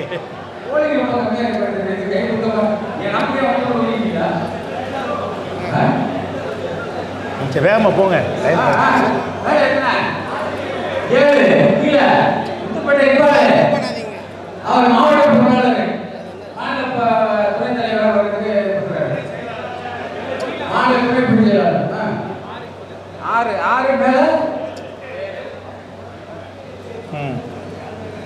டாக்டர் அமுதாயிரு என்னங்க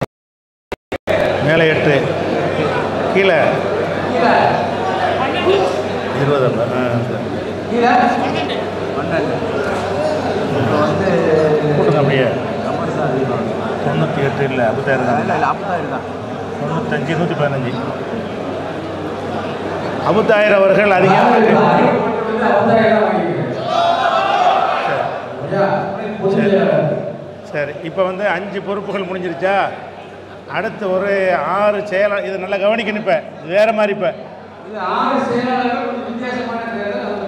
அதாவது ஆறு செயலாளர்கள் தேர்ந்தெடுக்க போகிறோம் ஆறு செயலாளர்கள் வந்து நீங்கள் பேர்களை எவ்வளோ தான் சொல்ல வேண்டியதுதான்.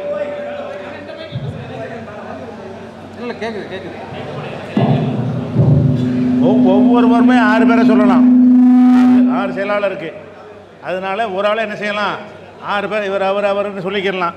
அல்ல இன்னும் ரெண்டு பேரை சொல்லிட்டு விட்டுறலாம். அஹ். அதான் ஆறு மாநில செயலாளர்கள் தேர்வு செய்யணும். இதை எப்படி செஞ்சால் நேரம் குறைவாகவும் சுமூகமாகவும் முடியும் என்பதற்காக வேண்டி ஒரு ஒரு ஃபார்முலா உங்களுக்கு சொல்கிறோம் என்ன ஃபார்முலான்னா நீங்கள் வந்து அந்த ஆறு செயலாளர்களும் சேர்த்தாப்புல தான் தேர்தல் நடத்தப்படும். ஆறு செயலாளர்களுக்கு. நீங்கள் ஆறு பேரை ஒருத்தரும் சொல்லலாம். அல்லது ஒருத்தர் விரும்பினா ரெண்டு பேரை சொல்லிட்டு நாலு பேரை சொல்லாமல் கூட இருக்கலாம். எல்லாத்தையும் நிப்பாட்டி எத்தனை வருஷம் நிப்பாட்டி வச்சுட்டு ஒவ்வொருத்தருக்கு ஓட்டு தனியாக எண்ணுவோம். இப்போ வந்து என் பேர் என் என் பேரை சொன்னாங்கன்னு வைங்க. எனக்கு எத்தனைன்னு கேட்போம்.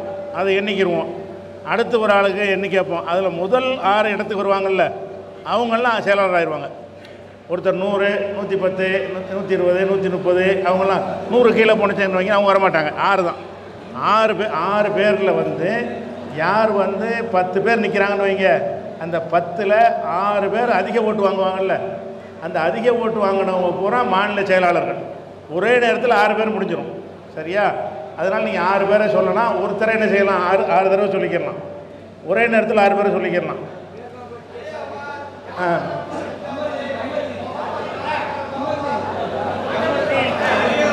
ஆ இரு. இருங்க இருங்க ஒன்று ஒன்றா சொல்ல சொல்ல எழுதிக்கிறோம். சொல்ல சொல்ல சொல்ல சொல்ல எழுதிக்கிறோங்க அதாவது க கமர்தீன் ஒன்று அலி அகமதா அலி அகமது ராஃபி ஏ? ராஃபி ஆ, ராஃபி கொஞ்சம் கொஞ்சம் அமைதி இருங்க. சரசரப்பு வேணாம், கொஞ்சம் அமைதி இருங்க. ஆகவே செயலாளருக்கு யார் முதல் சொல்லுங்க? இப்ராஹிம் ஆ இப்ராஹிம் நான் உணர்வு இப்ராஹிம்.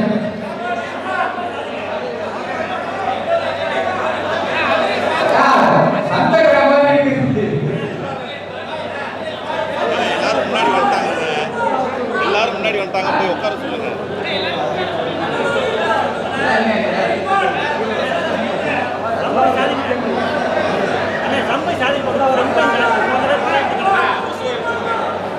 ஏங்க எல்லாரும் உட்காந்தீங்கன்னா அழகா அங்க இருந்தே சொன்னீங்கன்னா கேட்டுப்பாங்க எல்லாரும் எந்திரிச்சிட்டாங்க அவங்கவுங்க இடத்துல உட்காருங்க. ஓ ரோக்கு மைக்கு வரும். ஓ ரோக்கு மைக்கு வரும் சொல்லுங்கள் அவங்க இடத்துல உட்காருங்க.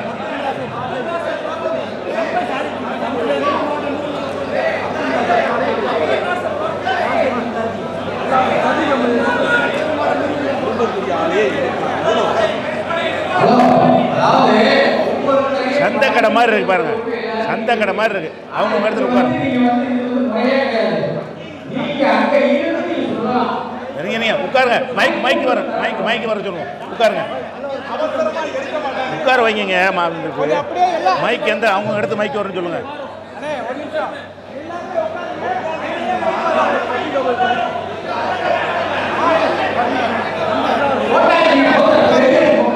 அங்கங்க உட்காருங்க. இங்க வந்து சொல்லாதீங்க இங்க வந்து எதுவும் சொல்லாதீங்க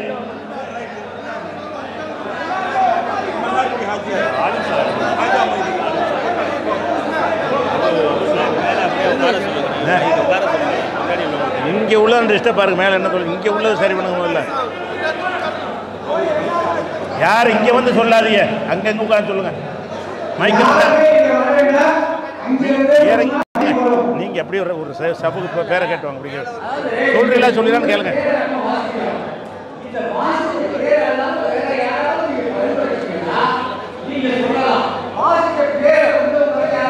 இல்லை அது குழந்தை இல்லை. இப்போ புதுசா எழுதுங்க புதுசாக எழுதுங்க. இருக்குது வரிசை வருவார் வரிசையாக வருவார். அவங்கவுங்க இடத்துக்கு மைக்கு வரும்.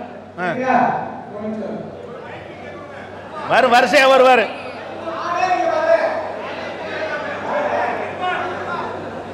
எதுவும் கருத்து சொல்கிறான் சொல்லுங்கள் இல்லாட்டி சும்மா இருந்துருங்க. அப்படி போங்க. வேகமாக கொண்டு போங்க ஒரு வரிசையாக அப்படி வரிசையாக கட்ட போங்க.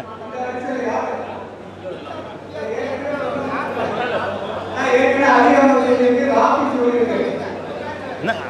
அவங்க சொல்றாங்களான்னு கேளுங்க. ராபி யாரே சொல்லுவாங்க. அதை கேட்போம் அதில் எழுதியாச்சு தாஜி போடுங்க.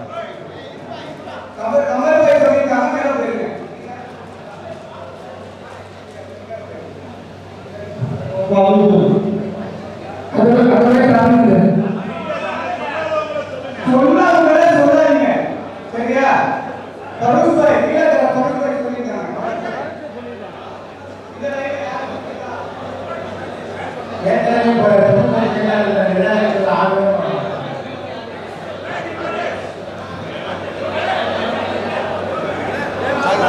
அங்கே அங்கே இருங்க மைக்கு வரேன்.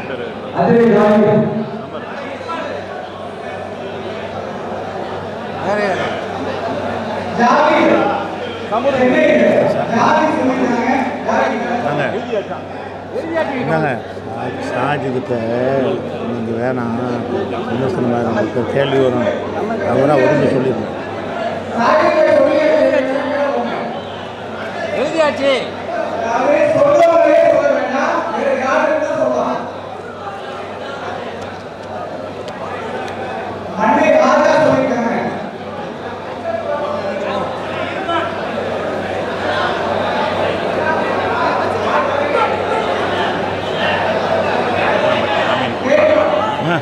மாநில செயலாளருக்கு யாமீன் கொஞ்சம் வே- வேற ஒரு சென்னை போயிட்டேன்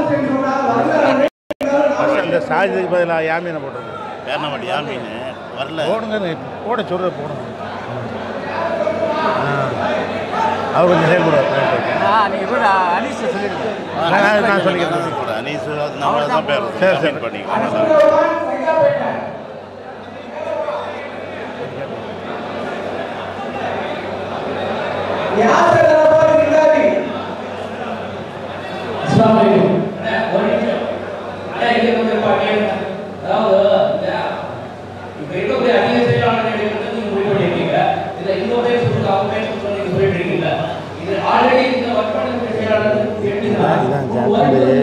அவர் கழிவுக்கு தான் போடுது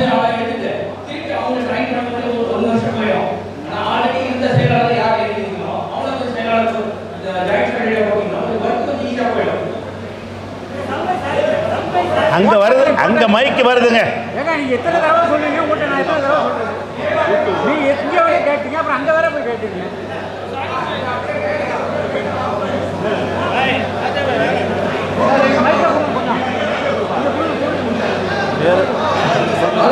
சொன்ன அதே கேட்டு சொல்லிட்டு இருக்கீங்க நான் சொன்ன அதை நான் வாசிக்கிறேன் அது இல்லாத சொல்லுங்க உணவு விற்பனை திருச்சி சம்பை சாரிக்கு கையை கையை தூக்க வேணாம் கையை தூக்க வேணாம் மொ- தெரிஞ்சுக்கிறங்க அருணாசலம் பார்க்கவி அதுவே காட்டி அதுவே பாரு நான் ஆறு பேர் வந்துட்டேன் அப்புறம் பிர- பிரதாப சபிகா அப்புறம் மேலப்படை ஞானியார் அப்புறம் நாகை ராபிக்கு ஒரே அழியா வந்து வேளாண்மொழி யாமினி அப்புறம் கீழே பருசு அப்புறம் நமரதி மண்ணை ஹாஜா இது அல்லாம யாரும் சொல்லி சொல்றாங்க அதான் ஒவ்வொருத்தராக சொல்லுங்க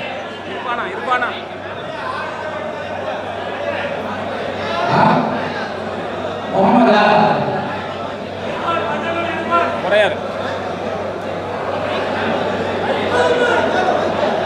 அவன் மேலே யார் சொல்றீங்க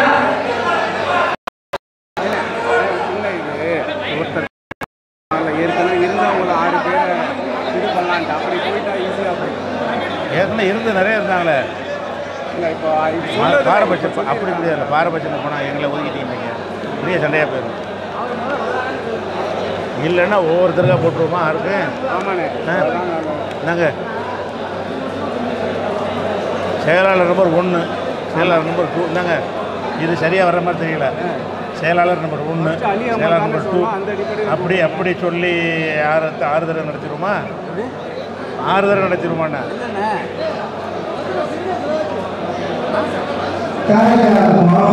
கள்ளக்குறிச்சி எல்லா பக்கம்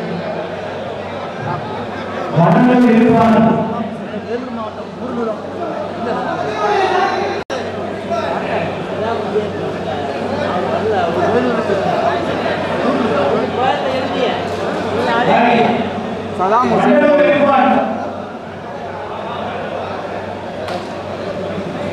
சதாம் ஹுசேன் கோட்டா கோட்டா அவர் வந்து உறுப்பினரே கிடையாது இது இது லைவ் லைவ்ல போயிட்டு இருக்கு லைவ்ல போகல போயிட்டு இருக்குண்ணே சந்தை கடையாக போயிட்டு. ஆஃப் பண்ணிடுவா நல்லா அந்த மாதிரி இல்லாமல் பிளாக் ஸ்கிரீன்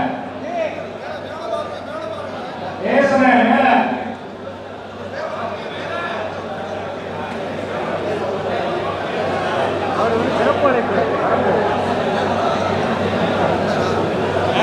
சம்சுவைன்னு சொல்ல சொல்றாங்க திருச்சி திருச்சி மாவட்டம் சம்சு சம்சுன்னு சொல்ல சொல்றாங்க திருச்சி திருச்சி சம்சு திருச்சி சம்சா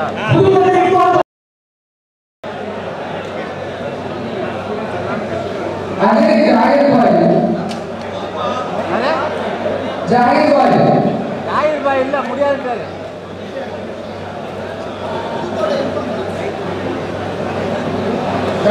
இல்லை இதில் சொல்லிக்கலாம்னு முதல்ல கேளுங்க. அதை கேட்ட உடனே.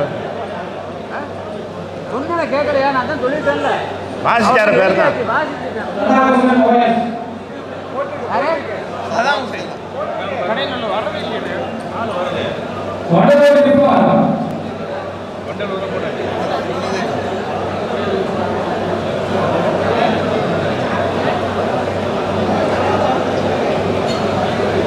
அவ்வளோதானே இருக்கா? முடிஞ்சா லிஸ்ட் வாசிக்கட்டுமா? முடிஞ்சா? வா- வா- வா- வாசிச்ச உடனே ஏதாவது விடுபட்டு இருந்தால் கத்தாமல் எந்திரிங்க. கிட்ட வந்து நான் கேட்டுக்கிறோம். சரியா? சும்மா சத்தம் போடாதீங்க. யாரா விட்டு உங்களுக்கு சொல்ல வேண்டி இருந்தால் இங்கே வாங்கி. இப்போ லிஸ்ட்டு வாசிக்கப்படுகிறது. இதில் வேற யாரும் இருப்பான்னு நினச்சிங்கன்னு சொன்னால் சத்தம் போடாமல் உங்கள் இடத்துலேருந்து எந்திரிச்சிருங்க. நசீர் கிட்ட வந்து இந்த பேரை கேட்பார் சரியா? ஒரு பேரை சொல்கிறதா இருந்தால் கூச்சல் மாதிரி சந்தக்கடை மாதிரி வேணாம். வாசிப்பார் வாசிங்க. வாசித்தவர்கள் ஒதுங்குறவங்க ஒதுங்கிக்கிறலாம்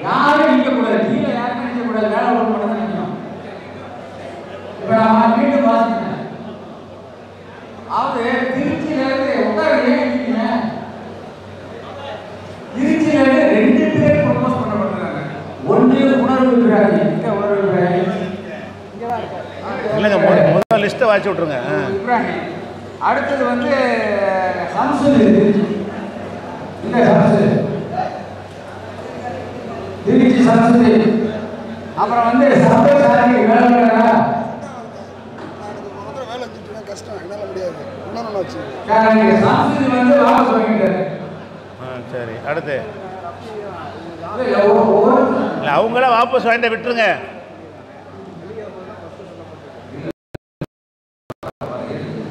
அப்புறம் வந்து இப்ராஹிம் இருக்கு யாசர் ரஹ்மான் இருந்தாரு.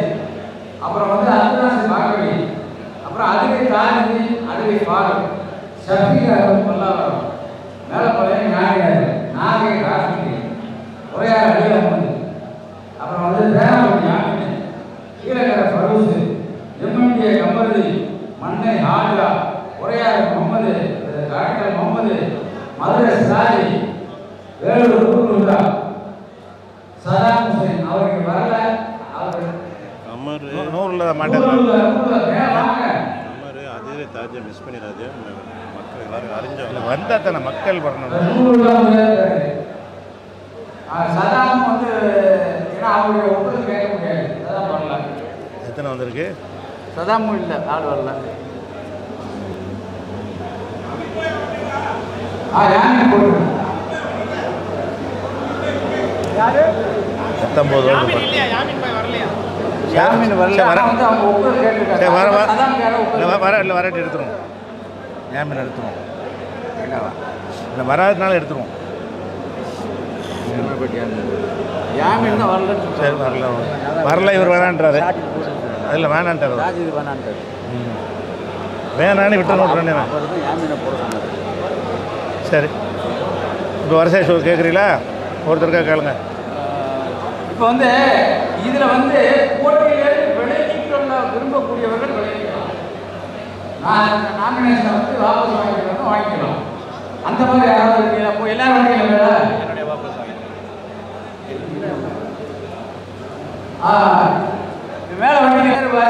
இல்லை ஒவ்வொரு ஆளை வாசிக்கும் போது அவரை ஹைலைட் இந்த இடத்துல நிற்க சொல்லிடுங்க. என் பக்கம் என் பக்கத்தில் நிற்கிற ஆள் விளங்கிக்கிறங்க. வாங்க. இப்படி வாங்க இப்படி வாங்க இப்படி வாங்க. இப்படி வாங்க. இது சொன்னோன்னு கேடு போட்டு போட்டு நடத்திக்கிறங்க. ஒன்று சொல்லுங்க மாநில செயலாளருக்கு உணவு எத்தனை பேர் கையில் தூங்க யாரும்மா என்று கீழே வாங்க யார் என்றா யார் என்றா? என்றது யாரு? என்னங்க?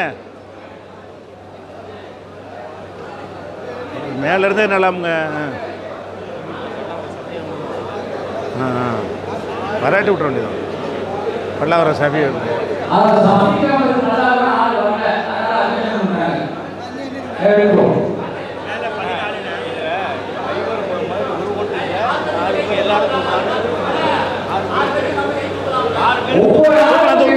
இல்லை தூக்கலாம் தூக்கலாம் ஒரு ஆளுக்கே திருப்பி தூக்கலாம் தூக்கலாம் தூக்கலாம் தூக்கலாம்.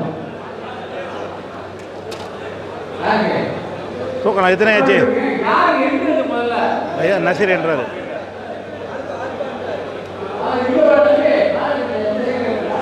இல்லை இல்லை ரெண்டு பேரில் என்ன வேணாம்? ஒரு ஒரு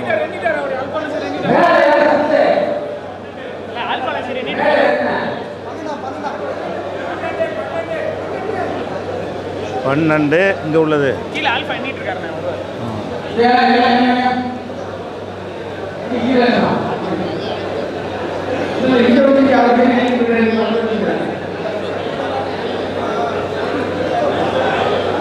நீங்கள் இருந்தால் மடபரம் எண்ணிடுவேல நின்று. என்றது முடியலை அவருக்கு. அடுத்து அடுத்தடுத்து நீங்கள் எண்ணுங்க மேலே நின்று? சரி. பஸ் வந்திருக்காங்க. எப்போ பத்து நிமிஷம் மட்டும் வெயிட் பண்ண சொல்லுங்க. ஒரு பத்து நிமிஷம் வெயிட் பண்ண சொல்லுங்க. எது வேணாம் எலெக்ஷன் முடிச்சுக்கணும் இது எலெக்ஷனை முடிச்சுட்டு சொல்லுங்க.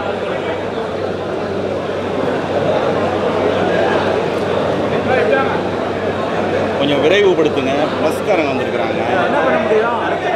இந்த ஆண்டு அவ்வளோதான் ஆ. இனிமேல் எலெக்ஷன் வேணாங்கிறீங்களா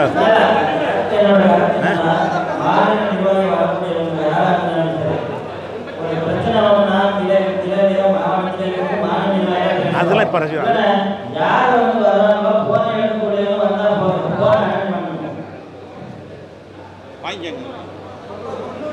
அடுத்த ஆளுங்க அடுத்த ஆள் சொல்லுங்க.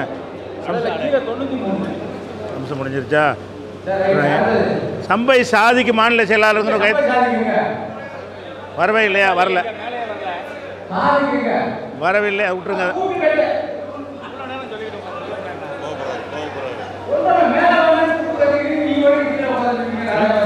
நீங்கள் இல்லை நீங்கள் வரல விரும்பலையா அப்போ? ஆ சம்பை இங்கே வாங்க இங்கே என் பக்கத்தில் இல்லைங்க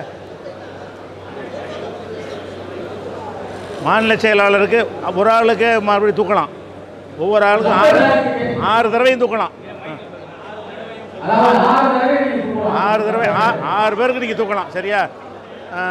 சம்பை சாதிக்கு மாநில என்னங்க டக்குன்னு? சம்பை சாதிக்கு மாநில செயலாளர். இவர் தான் இவர் தான் சம்பை சாதி. வேகமாக என்னமா ஆ நீங்கள் போயிருங்க. யாசிர் வாங்க யாசிர் வாங்க யாசிர் பார்த்துவோம் ஆ? அது முடியட்டும்.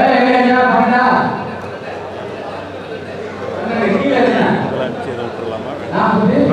அந்த பரபரப்பையோடய இவங்க இருக்கட்டும் முடிச்சு விட்டோம்னா முடியாது இப்போ முடியாது. இப்போ அது பெண்டிங் அவ்வளோ பேர் நான்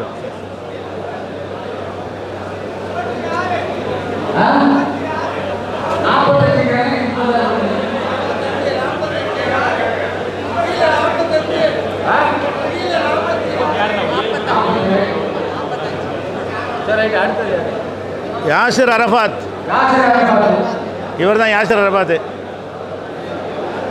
ம். என்னங்க மடப்பண்ண என்னங்க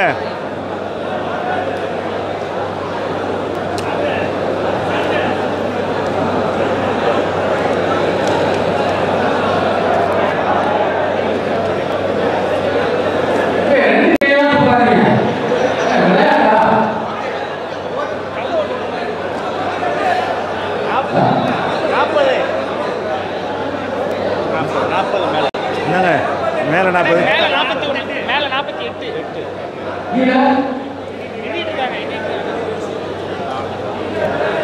பேசலாம் லிஸ்ட்டில் என் பேரை வாசிங்க ஆ உங்கள் பேர் இல்லையே ராஜ் எடுத்துடவா சரி நான் வாசிக்கும் போது எடுத்துடுறேன் சரி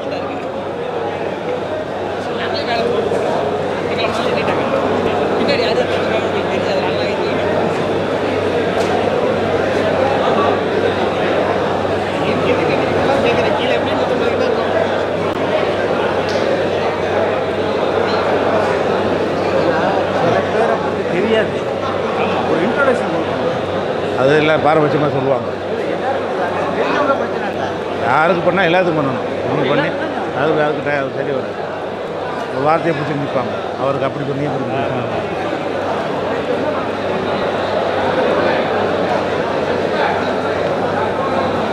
யாசிரபா முடிஞ்சிருச்சா இனியாச்சா? கமருதி எங்க கமருதி கீழே நூற்றி முப்பத்தி ரெண்டு. நூற்றி முப்பத்தி ரெண்டு. கமருதி வாங்க. கமருதி வாங்க. கமருதி.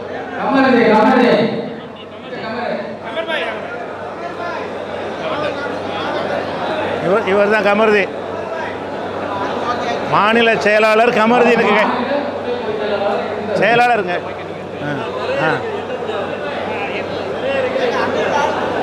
என்ன வேமா என்னங்க வேமா என்னங்க ஆ ஒரு சைடு நீங்கள் ஆனா இந்த பக்கம் மட்டும்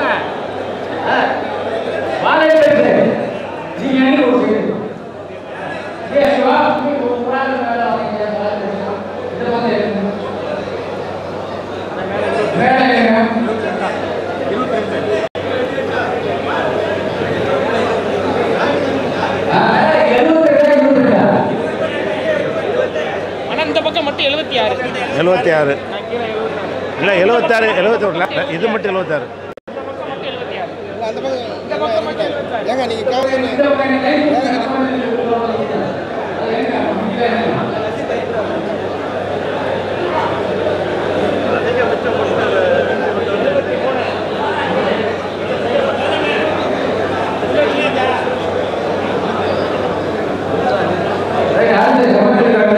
காவல் ஆ வாங்க.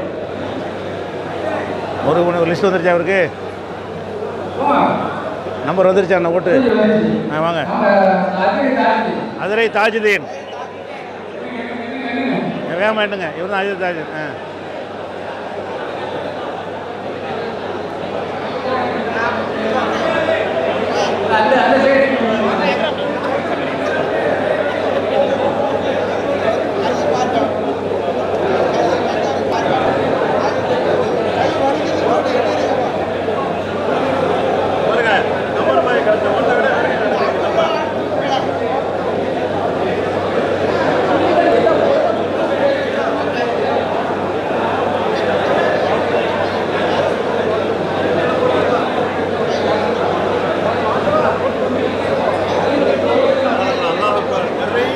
ஆனா இங்க இந்த பக்கம் எண்பது எண்பது எண்பது தாங்க அதாவது என்ன, இந்த ரைட் பக்கம் மட்டும் எண்பது ரைட்டு இந்த பக்கம் எவ்வளவு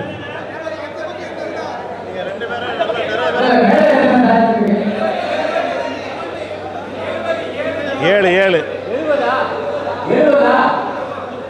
எழுபது எண்பது எங்கே பக்கம்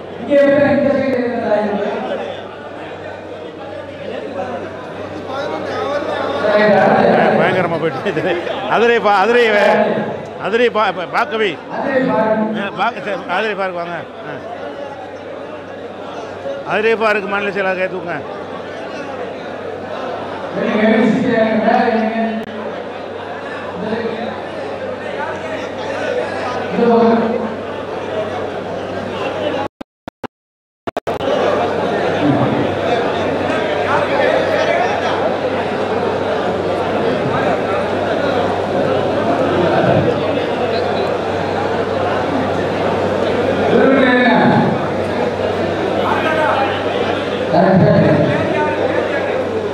எவ்வளோவா அறுபத்தி ஆறு நினைக்குது இங்கிட்ட அறுபத்தி ஆறு அறுபத்தி ஆறு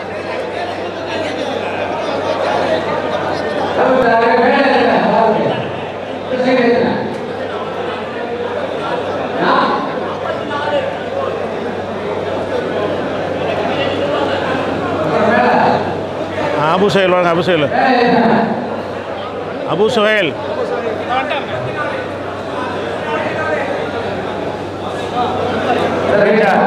அபு சுஹேல்.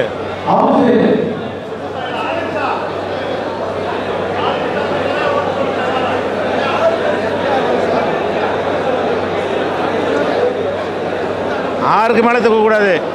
ஒரு- ஒரு ஆளுக்கு ஆறு ஓட்டு தான்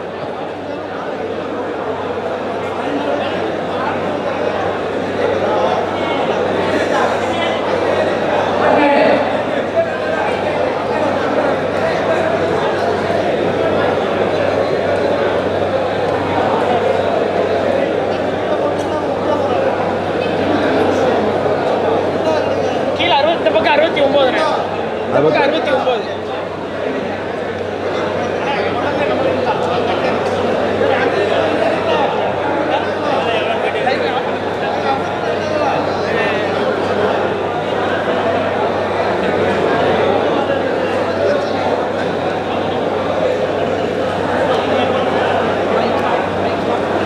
அடுத்தவங்க ராபி எங்க ராபி ராபி எங்க அடுத்து அடுத்து.